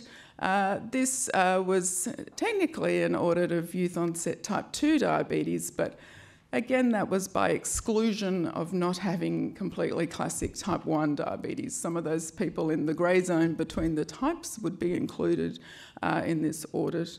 Uh, and this audit had very robust methods in terms of using primary healthcare data from across the north. Uh, and Dr. Aveni Haynes, who's probably here in the audience, played a lead role uh, in this work, uh, along with Liz Davis and many other collaborators across the country. Um, and uh, this was the inclusion criteria. So, under the age of 26, uh, and between the years of 2016 and 2017 was when this work was done. Uh, so the prevalence in that uh, study uh, was indeed very high, and particularly in Central Australia uh, at 14.4 per thousand, uh, which to our knowledge is the highest that's been recently re- reported uh, in the world, and much, much higher than what we had previously reported in the Northern Territory or that is reported Australia wide. Um, uh, and in relation to glycemia, we're very good at testing HbA1c. About 80% of the young people had had their HbA1c measured in that time period, but unfortunately, only 14% met the target of 6.5% for HbA1c. So, a lot of room for improvement there. Uh, I might skip over that. The BMI, though, is interesting for uh, from this result, particularly for the young group under 15, as I was mentioning before, that's the group where the phenotype really is not typical uh, of either type 2 or type 1 and is somewhere in between. Uh, but particularly that young group, you can see that the proportion who's uh, living with a weight either in the normal or the overweight range really is relatively high for what you would think for type 2 diabetes. So this really does include that, include that group with an uh, unclear type potentially. But as I mentioned before, the consistent feature is uh, poverty and disadvantage. And I was recently involved uh, in a paper from yeah, a global perspective talking about the contribution of the social determinants of health, uh, as Tim uh, pointed out very importantly in his talk as well. Uh, these social determinants really do play such a key role in driving inequities in diabetes. So, food insecurity is incredibly common uh, among Aboriginal people in the Northern Territory, uh, as is poverty, uh, limited education and employment opportunities, structural racism, and intergenerational trauma all play a key role in contributing to uh, disadvantage and reduced uh, or poor diabetes outcomes. So we see this cascade of widening inequity in diabetes, where on the, on the left, at the number one there, are the minoritised communities uh, experiencing disadvantage from the beginning. And then over time, on the x axis, you have the contribution of the social determinants of health, leading to that widening inequities and experienced by minoritised communities in Australia and, and globally. So in the NT, just to give a setting for the, the context, uh, 30% of the Northern Territory population are Aboriginal and Torres Strait Islander people. Our population is very small, it's only 200,000 total population of the Northern Territory. Uh, Aboriginal people in the NT are younger age than the Australian population and, and the uh, non Indigenous NT population. One in three Aboriginal people in the Northern Territory are 15 years or younger. 77% uh, of Aboriginal people in the NT live in remote or very remote locations. Uh, 23% are outer regional, so the whole of the NT is outer regional or, or remote or very remote. The employment rate is only 37%, and the year 12 completion rate for education is under 50% for Aboriginal people in the Northern Territory. Diabetes is the leading cause of death in both Aboriginal men and Aboriginal women in the Northern Territory. And there's significant heterogeneity in relation to uh, culture, socioeconomic status, language, ethnic admixture, body composition, body build, a, a very diverse population within Aboriginal and Torres Strait Islander people in the Northern Territory. The challenges in care have already been alluded to in other presentations, but particularly uh, is challenging to access the full multidisciplinary team in remote Australia. Uh, where I work, it is very hard to access all members of the multidisciplinary team uh, across the Northern Territory. Accessing the latest technology is also challenging, as is accessing peer support when you live in a very dispersed and very small population.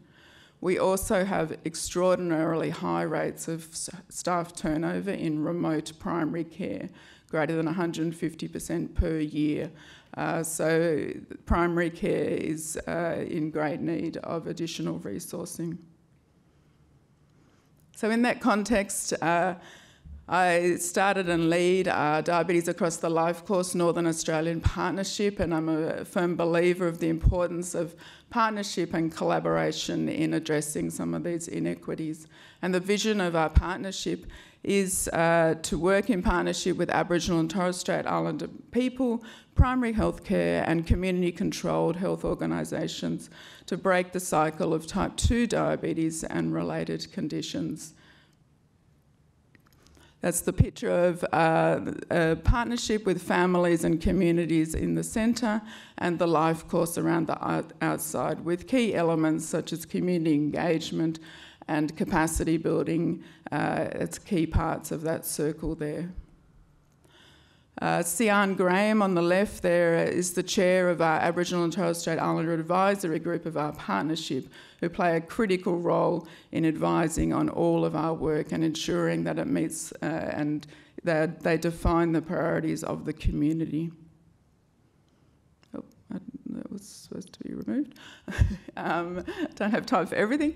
Um, the uh, the second paper that I just wanted to draw attention to that was recently published in The Lancet uh, was uh, a great honour in that they uh, highlighted our Diabetes Across the Life Course partnership as a global uh, case study in how to change the ecosystem in addressing inequities in diabetes. And so, particularly highlighted our work with communi- communities and partnering with health services uh, in trying to reduce disparities in diabetes outcomes. Uh, and a key part uh, of our work is qualitative work, working closely with uh, people living with diabetes. And some of this work I'm just going to share relates to diabetes in pregnancy, but really the themes are consistent across all types of diabetes. And so some of these important enablers here reported by people living with diabetes in pregnancy. So it's about connections with family and community. There is no me, it's we. The importance of the connection with land and culture is incredibly important to Aboriginal and Torres Strait Islander people. And then pregnancy as a motivator was critical here for this time point. Other key supports during pregnancy are the importance of health professionals. Uh, the guys at the clinic, they were just amazing. They made it much easier than what probably would have been if I'd tried to struggle with it by myself. The importance of families, it was always nice to have mum there. And then the importance of social media as well is interesting. But then barriers, as I mentioned before, food insecurity is really the biggest uh, barrier we, we face, particularly when prescribing insulin uh, for people who unfortunately uh, cannot afford to buy food uh, for the full week. Um, and so some of these quotes here about if I have enough money, I can buy groceries, good, good food, but sometimes when I run out, so I just go out to the takeaway. The problem the women have in the community is if there's there isn't a lot of fresh fruit and vegetables, so it's easier to buy takeaway. And then the lack of facilities, pools close a lot, they can't keep them open when there's no lifeguard. And then the competing priorities related to uh, family and other priorities. So, a key aspect of our work is around co designing to improve models of care, working closely with Aboriginal and Torres Strait Islander children and young people, families, and communities. This work relates to what we call youth onset type 2 diabetes, but as I uh, mentioned earlier, it really is a spectrum across from type 1 to type 2 and really does include your, all youth uh, with diabetes uh, and has four key elements there related to working closely with communities and health services, improving models of care. And just I wanted to end with some of the qualitative work from the young Aboriginal people uh, that's been key for informing this youth onset work uh, for improving models of care. Firstly, that feeling of fear and shame. Before, I wouldn't want to like tell you my story at all because I was pretty much at first I was ashamed of it.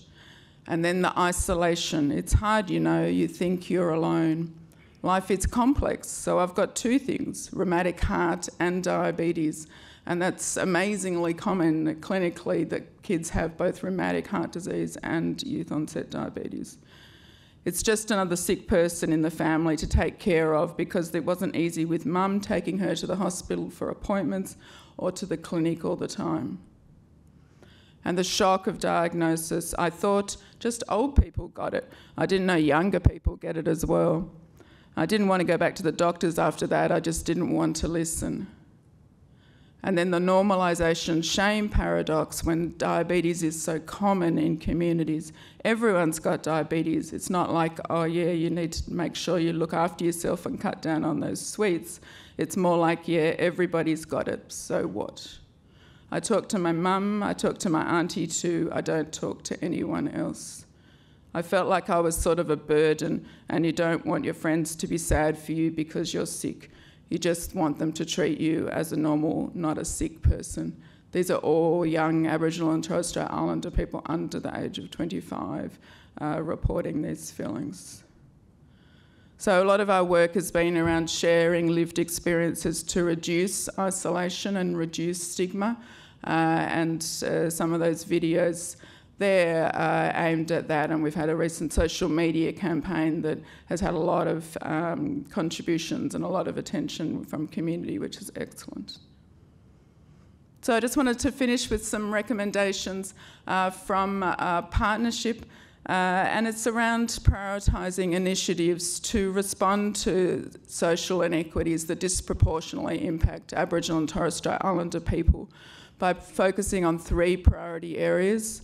Firstly, raising public and community awareness of youth onset diabetes. Secondly, addressing the social determinants of health and cross sectoral collaboration is a key way to do that. And thirdly, access to high quality healthcare that's culturally safe and appropriate for communities and includes maintaining the Aboriginal workforce, which unfortunately is reducing in recent years. And prioritise strategies that engage and rebuild trust with Aboriginal and Torres Strait Islander communities through genuine partnerships, community led programs, a holistic approach that really prioritises social and emotional well-being and uh, as well as physical health and peer support uh, including in schools uh, for youth type 2 diabetes or all types of diabetes. So just to end, uh, the importance of incorporating Indigenous knowledge in diabetes research I did this paper a couple of years ago with Sian Graham, who's the chair of our Aboriginal and Torres Strait Islander Advisory Group, as well as some collaborators in Canada with a similar partnership model. Uh, and really, it outlines our ways of working uh, in and promoting the voices of Aboriginal people uh, and incorporating Indigenous knowledge.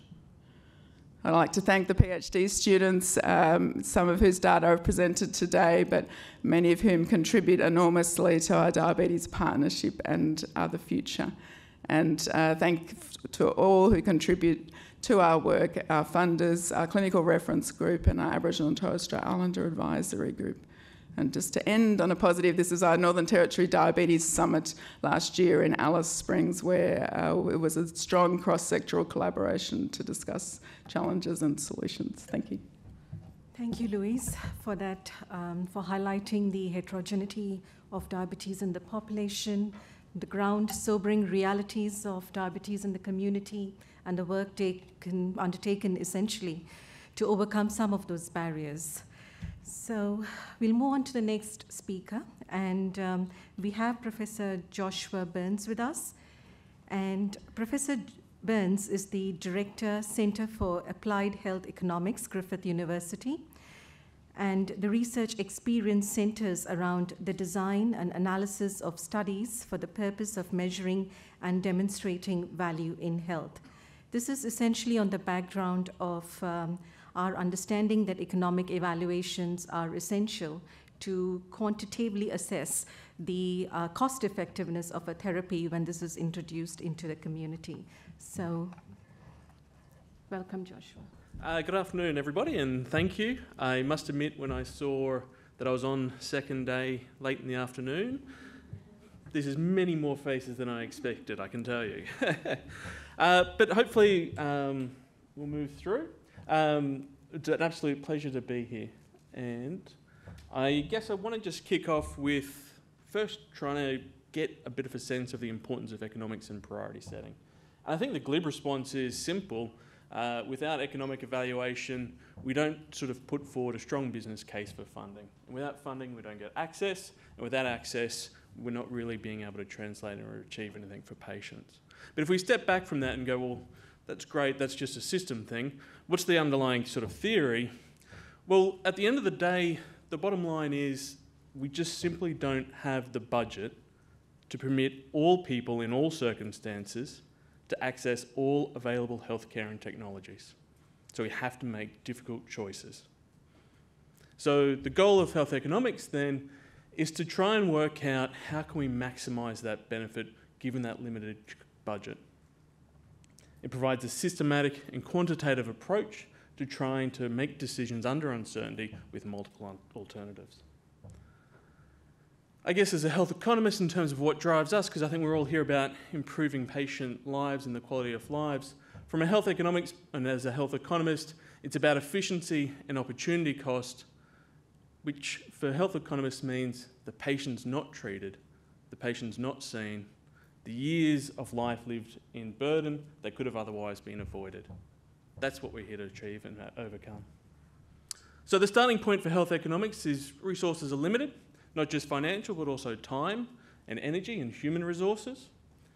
We've got virtually an unlimited use of these resources. We can sort of deploy these in very many fields, but then even within our field, in terms of prevention, treatment, models of care, technologies, many, many different uses for them. So healthcare is an economic good. It's scarce relative to our wants. The flow of funding in Australia we have a mixed public-private system, which means we both have private funding, out of pocket from patients, private health insurance, as well as public funding, so state and Commonwealth government funders. And we have mixed sort of providers of healthcare. So we have both state providers of healthcare as well as non-government. And the flows of money in and between these agents, as you can see, is quite complicated. Moreover, each one of these is a separate economic agent making their own decisions within their own context, maximising their own objectives. In Australia, and this comes from the JDRF report, which is wonderful, $2.9 billion annual cost across the society per year. And it was wonderful to see the minister day one with this number on his lips. Fantastic. Really importantly, well,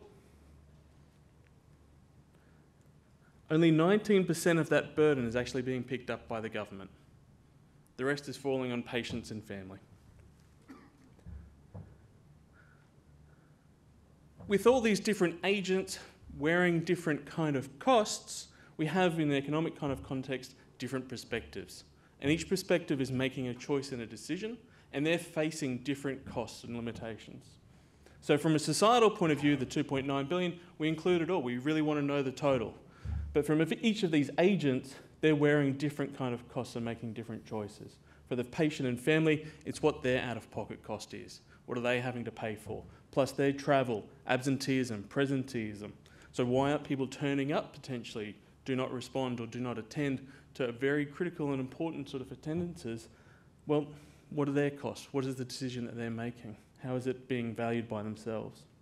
From a public-private insurer, what do they cover? They set the rules, they reimburse what they determine. If it's covered, they'll include it, but if not, they'll exclude it. You know, we can think about these things very clearly in terms of patient experience. At a hospital, we don't pay for parking. You know, patients pay for parking. To what extent do we really care when we're asking patients to pay for parking, for example? And then from a provider, healthcare providers, they've got a different perspective altogether. So in terms of they get reimbursed for the services or technologies that they're providing, but the cost for them is the cost of production. So with all these multiple agents with multiple kind of objectives, it was really value and health that kind of try to herd the cats. How do we get all these different decision makers to come together to truly uh, motivate and be on the same page? And so for value and health, we really sort of put patient outcomes as the goal and the objective and maximising this relative to the costs associated with it. Indicators, processes are only valuable in and so much that they can affect health outcomes. HbA1c is great and better control is great, but what does it mean for a patient? Screening, fantastic, but screening alone doesn't mean a thing unless we can get to the end of this sort of paradigm here of health outcome and what does it mean for a patient. So in health economics, how do we measure and what's a health outcome for economists? Well, we like summary total outcome measures of importance, which combines, well, the quantity of life, our survival, I think it was kind of talked about as stage five in the kind of idea of diabetes, this kind of quantity survival, as well as the quality of life, the quality of those years that are lived. In economics, we pick up kind of very standard kind of uh, what we call a patient-reported outcome measure this one here is the most common, which is the EQ5D5L, which looks at quality of life on five domains, which is uh, mobility, ability to self-care, ability to undertake usual activities, pain and discomfort, anxiety and uh, depression. This should be a flag already in terms of do we have the right tool here measuring quality of life? Sleep's not there. But when we are able to sort of put this into together, we're able to come up with our quality adjusted life years, which allows us to kind of compare across all diseases and across all technologies. And we're able to compare both in terms of improvement in quality of life as well as living longer. When it comes to our value for money, we're interested in margin. What's the incremental cost and the incremental benefit? And I think it was interesting when we see the discussions in terms of how these technologies are sort of competing for each other but also cooperating at the same stage. Not only when you sort of go into the decision are we sort of looking at, well, what's the marginal benefit of my technology, but it's also in terms of what that cost of that other technology is. So we're starting to bring in islet sort of uh, replacement at the back end. Okay, the marginal benefit may be not so great, but what the cost, what's the cost there? And so how does that then transform in terms of our pump, pump technology versus daily, multiple daily injections, or even in terms of screening and how we sort of work together in the entirety?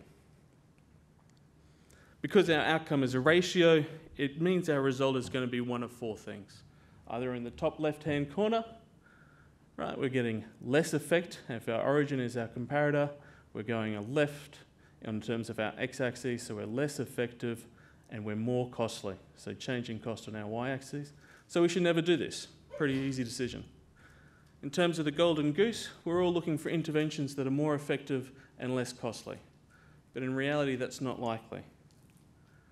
So we have a cost effectiveness threshold in terms of where we determine the additional benefit to be relatively good value for money relative to the additional costs associated with it. What we have then is in terms of any sort of piece of evidence or, or what we have in terms of a technology, there's two ways to sort of increase your value. Either reduce your cost or increase your benefits. When we talk about increasing our benefits, we're increasing our claim for benefits. And in economics, we use models more often than not. So what's the change of a HbA1c in terms of the impact in terms of uh, complications subsequently? And then therefore impacting quality of life and survival. So we use economic models to extrapolate beyond trials to go into the future to start claiming some of those additional benefits that we think are associated with our technology.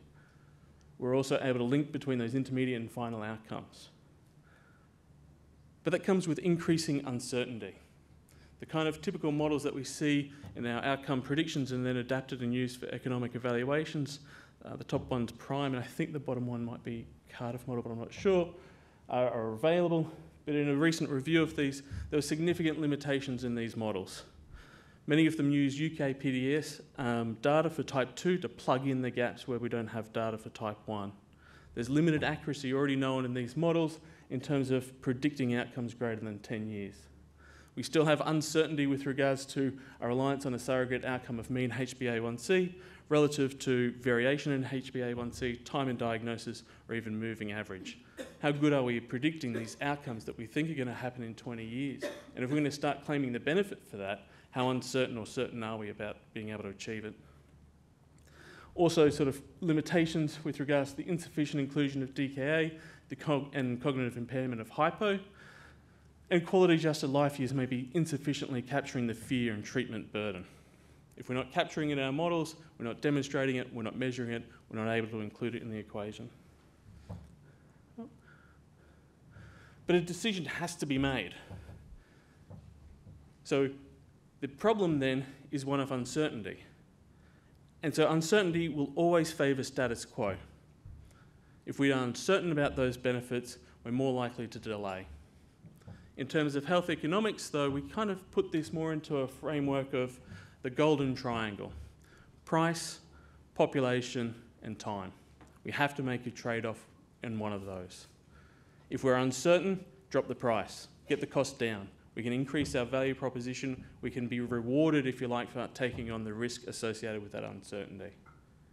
If we're looking at population and the trade off with population and price, we're looking at precision medicine. To what extent can we sort of justify a higher price by sort of putting into place treatments and therapies which are likely to have the most benefit for subgroups of the population. Smaller population, higher price. Or it's time, right? We have three year trial data, five year trial data. You wait. You want to have a high price to sort of claim those benefits of long term outcomes? Wait 10 years, 15 years. decrease the uncertainty associated with the outcomes that you're claiming benefit for, but that will allow you to reserve your high price. So it becomes a trade off in terms of technologies and how they move forward. This is another slide that I've stolen from the JDRF report, and I think it's actually a really good one because it puts it, the opportunities in terms of economic benefits all in one. So we start looking at the far right hand side, we've got the total lifetime or the average lifetime cost for, for a patient diagnosed, for those with complications, and those without complications. So when we start looking at technologies which are reducing and managing that complications, there's your benefit, moving from 738 738,000 average lifetime cost down to $143,000. When we start talking about preventions overall, we're talking about everybody at $400,000 average lifetime cost no longer being on the table.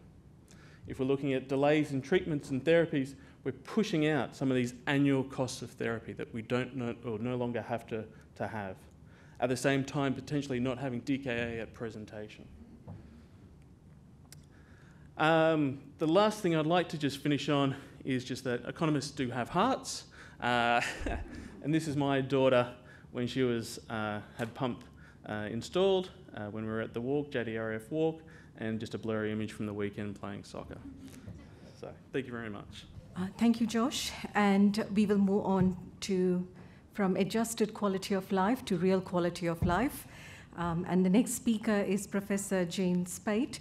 And Jane is a health psychologist who has specialized in diabetes for 25 years and is the foundation director of the Australian Centre for Behavioural Research in Diabetes. Her research interests focus broadly on understanding and reducing the psychosocial and behavioral burden of type 1 diabetes, its management, including the benefits and challenges of modern glycemic technologies, and optimizing support and self care to improve both health and quality of life. Thank you, Jane. Thanks, Mary, and uh, good to see you all here uh, so late in the afternoon, as Josh said. Um, and thank you to JDRF for inviting me to give this talk. Um, here are my disclosures. So it's uh, quite apt that I'm following Josh because a lot of what Josh was talking about, and indeed what we've been talking about for the last couple of days, has been health. Um, and I'd just like to make this very quick distinction um, that was actually first made by Hannah McGee uh, over 30 years ago now, uh, but it's uh, worth drawing attention to again today and on a continuing basis, I think. Health is not quality of life. The assumption that health is the only, or indeed the major, quality of life priority for people with diabetes appears unjustifiable they are as concerned or more concerned in many instances about aspects of their lives other than health. And I think that is the reality that we're grappling with when we talk about the extent to which people are willing or able to use the treatments and technologies that we've been discussing here over the last couple of days. And so when uh, endocrinologists and educators and other health professionals are in clinic, uh, and focusing on health and talking about the technologies and the treatments and the screening for the complications and all of the other bits and pieces that absolutely must go into that consultation, it's really worth also bearing in mind the person's quality of life. The examples on the slide are literally just examples, but they're the kinds of things that really matter to people in their quality of life. It's, sorry, I don't know why this is moving on. Um, it's their working life, it's their family life, it's their friends and social occasions, it's pets, it's being able to drive somewhere, being independent, being able to do what they like, when they like, how they like. Uh, and it's this kind of freedom that people really value, both uh, freedom in their everyday lives, freedom to eat as they wish is really important as well. And it's these kind of freedoms that are actually taken away by type 1 diabetes uh, that spontaneity and that independence are really important to people and uh, they are crushed by severe hypoglycemia and the ongoing burdens of problematic hypos, impaired awareness, uh, and the list goes on in terms of the treatment uh, recommendations and everything that people have to do every day to manage this condition. And the other key part of this uh, slide is that image on the right hand side. Life is now. People are not thinking about the complications that they may or may not get in 20 or 30 years' time. Actually, what they really care about is what's going on now, this week, this month, with their family, with their friends, with their work. And these are their priorities at the moment. And people discount future health and quality of life in favour of today's health and quality of life. Now, a couple of years ago, uh, I was fortunate to lead this paper that was published in Diabetic Medicine that explored what we've learnt over the last 25 years in the psychosocial aspects of diabetes in relation to the impact of diabetes on quality of life. And uh, I won't go into the details of this review paper, and you can access it, it's uh, free to access. Um, but what we talked about in there that was that diabetes, uh, sorry, is that quality of life is multidimensional. Uh, there's all of the dimensions that I've just talked about, the different aspects of life that people value. It's also subjective. What matters to me for my quality of life doesn't necessarily matter to you for your quality of life. You may have other aspects of life that are more important to you uh, than they would be to me. Um, it's also dynamic, it's changing over time. So, what matters now may not be mattering in a month's time or a year's time, and these are all important factors. So, all of this is what builds uh, up into someone's quality of life. And the challenge that we have in research is how do we capture that? How do we understand that in a reliable and valid way? Uh, and in, in order to use quantitative assessments in clinical trials and cohort studies and so on, we need um, assessments that are comprehensive of all of those things that I've just talked about. They also need to be easy to read and brief. So it's not uh, a major challenge, but it's certainly a challenge. So I say all of that because that brings me on to what have we learnt from the technology studies.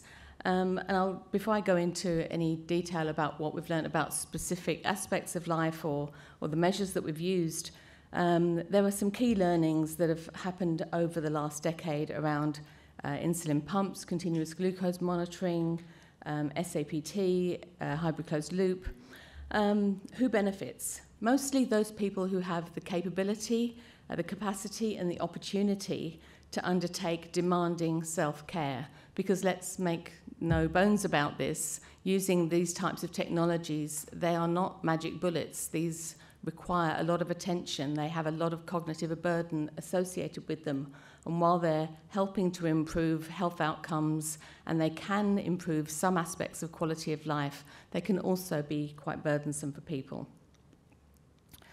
The psychosocial uh, impacts of all technologies, I would say, are understudied and not capitalised on because we don't have enough funding going on in this aspect of research. We don't have uh, enough opportunities to be really assessing these outcomes uh, in all the studies that are going on. So I think this is uh, a global issue. It's not just an issue for Australia.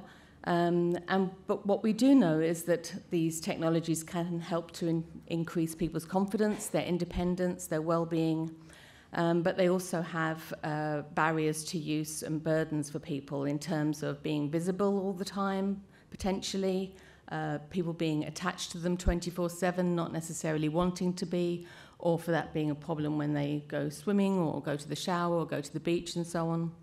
Uh, body image issues and stigma as well, that I'll come on to a little later. Use declines over time as well. So, what we've learnt from the studies is that the use of these technologies is strongly influenced by the person's experience of using them. So if they're not finding them particularly convenient or useful, um, or they're not able to integrate them into their daily lives, then at certain points they stop using them or they stop using them to their optimal effect. And our tendency in the healthcare area is to fault the person for this and to blame them for non compliance rather than seeking answers to the questions of how can we actually make these technologies better Uh, and I know that there's been a lot of work going on, and we've talked about that a lot over the last couple of days about how to make technologies and uh, treatments better for people, but we still do have this tendency to fault people for not using the, the treatments and the technologies that are actually available to them. So the onus is on us as uh, developers to create devices that people with diabetes actually want to use. As health professionals to support people with diabetes to identify the tools that are going to meet their needs, and as researchers to conduct holistic studies, and as funders to support those holistic and behavioural studies. And on the right hand side of this slide, I've also highlighted that all of the technology studies that have happened over the last decade or more, uh, so many of them differ in terms of the devices used, the study designs, the settings, the participants in those studies, and also the measures of quality of life and related outcomes that are used. So there's so much heterogeneity in these studies that it's very challenging to actually summarize it well. But last, or oh, actually this year, actually, I think it was in January that this paper was published uh, in the end. Um, we uh, published a paper in Diabetic Medicine referring to the impact of glycemic ten- technologies on quality of life and related outcomes. Um, so it really did um, my uh, job for me today uh, to have already worked on this over the last couple of years. Um, in that paper, we um, show this uh, diagram, which really demonstrates the intersection and the challenges that we face in terms of technologies having benefits, barriers, and burdens. And a lot of the um, issues there are actually at the intersections. So some things can be both a benefit and a burden. Uh, for example, with sleep quality, um, the technologies can reduce hypoglycemia, which can improve sleep quality. They can also create alarms which reduce sleep quality. So there's lots of issues here that we can't necessarily say that these are a benefit or a burden. We have to ask the person how it's affecting them in their everyday life. So, as I said, we published this paper, uh, and it actually came out of um, an initiative uh, from uh, Colin's uh, group, the Diabetes uh, and Te- Technology and Treatments research group at Diabetes UK, um, where Ramzi Ajjan and Pratik Choudhary and Emma Wilmot uh, got together and decided that we needed a paper that would summarise the impact of technologies on quality of life and related outcomes, and they asked me to collaborate with them on this. And what I've put on the slide here is a very simplified version um, of the key findings of our review. Uh, and on the uh, in the column on the left, you can see the different types of measures that have been used in technology trials. And I've divided these into generic measures, diabetes specific measures, and hypoglycemia specific measures. If there isn't an arrow or some words, then the measure wasn't used or it doesn't exist. Um, and uh, what you can see here is that actually there were benefits across uh, several different domains uh, in terms of issues like reducing diabetes specific distress and fear of hypoglycemia, improving general and diabetes specific emotional well-being, improving diabetes specific uh, self efficacy or confidence in managing diabetes and confidence in managing hypos, uh, increasing treatment satisfaction, and increasing sleep quality and also increasing uh, or improving diabetes specific quality of life. Where you can see there are no changes is that it, uh, the technologies don't improve people's awareness of their symptoms of hypoglycemia.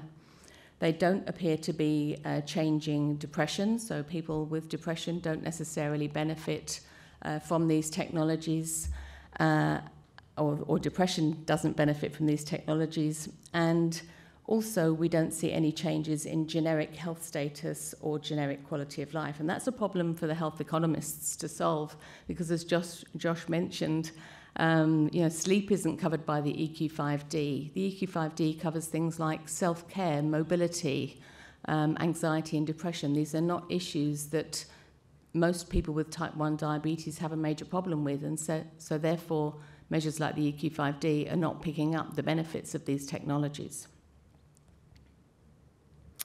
Now, moving on to our Australian hybrid closed loop study, um, briefly, we asked people at the beginning of this uh, trial about their expectations of the technology. And then, uh, after they'd been through um, the intervention arm, we asked them about their experiences. And what you can see is that expectations in terms of benefits uh, were very closely aligned to what people actually experienced in the end. But when we'd asked people about their expectations of difficulties, they didn't really come up with as many as they actually experienced. So, what they actually experienced in terms of difficulties were adjustment to wearing the devices, but also interrupted sleep, alarms, calibrations, and technical failures um, that they hadn't anticipated. So, these are issues that might stop someone from continuing to use such a device if these are ongoing and problematic. Now, the, the um, table on this slide is from our Australian hybrid closed loop trial run, uh, led by David O'Neal and Sybil McAuley and many other people, some of whom are in this room. Uh, and our work on this uh, involved Christel Hendrieckx and Jennifer Halliday and our team. Uh, this table is very similar to the table I just showed you before, just for simplicity's sake, um, so that you can follow along. Uh, and what we showed here was that uh, hybrid closed loop was associated with um, reduction in fear of hypoglycemia, improved diabetes specific positive emotional well-being, improved treatment satisfaction, although specifically that treatment satisfaction was related to perceptions of the effectiveness of the closed loop, not necessarily to the convenience of using it or to a lack of intrusiveness. And we also showed improvements in diabetes specific quality of life. So, what we learned from this study and others is that what we need to make a hybrid closed loop suitable for all people with diabetes who choose to use it is to manage expectations. Expectations are very high of technologies, um, but the experiences may not match those. And the hassles may influence long term use, and hybrid closed loop, or certainly the iteration that we used in this trial, doesn't yet do everything for the person that they need it to do. We also found that those previously using multiple daily injections actually had better experiences than we might have expected. Uh, that they're more likely to let hybrid closed loop run without intervening, without sort of tinkering with it, and they have no reference point for advanced technology, so they were very happy uh, largely with how it worked out for them. Uh, we do need to minimize our own biases, therefore, about who hybrid closed loop is suited to, and we need to keep listening to what people want we need to not expect the person to adapt to the system, but rather we need to keep working towards systems that are going to fit with people's lives. Moving on briefly to uh, what we've learnt from uh, open source uh, artificial um, uh, pancreas systems and the real world impacts of those um, I'm just going to take it as read that everyone in this room knows about OpenAPS, uh, so I'm not going to be uh, going into detail about this, but it's been fascinating to see um, the extent to which uh, people can get time in range with these systems and how hard the, the algorithms are working in the background with the basal rates continuously adjusting to support people to achieve that time in range. And what we believe is that this is really absolutely showing the realities of the full time job of type 1 diabetes self management that hitherto I think has been uh, vastly underestimated um, by all of us. And this is an, uh, a paper that uh, came out um, analysing uh, tweets from people on social media uh, sharing the benefits that they'd experienced with OpenAPS uh, they found it astounding, an A1C of 5.4. They said boring glucose is beautiful, um, and that this is amazing, great levels, and I'm not killing myself to get it. So, Jasmine Schipp in our group uh, recently completed her PhD looking at the experiences of people using OpenAPS. And again, I've uh, simplified uh, the work that she did here in terms of a survey, which was a global um, survey of adults with type 1 diabetes. 451 were using open APS and 141 were using other technologies, a third of whom were actually using commercial um, automated insulin devices or SAPT. Um, so they were not um, really, you know, very behind in terms of the technologies that they were using necessarily.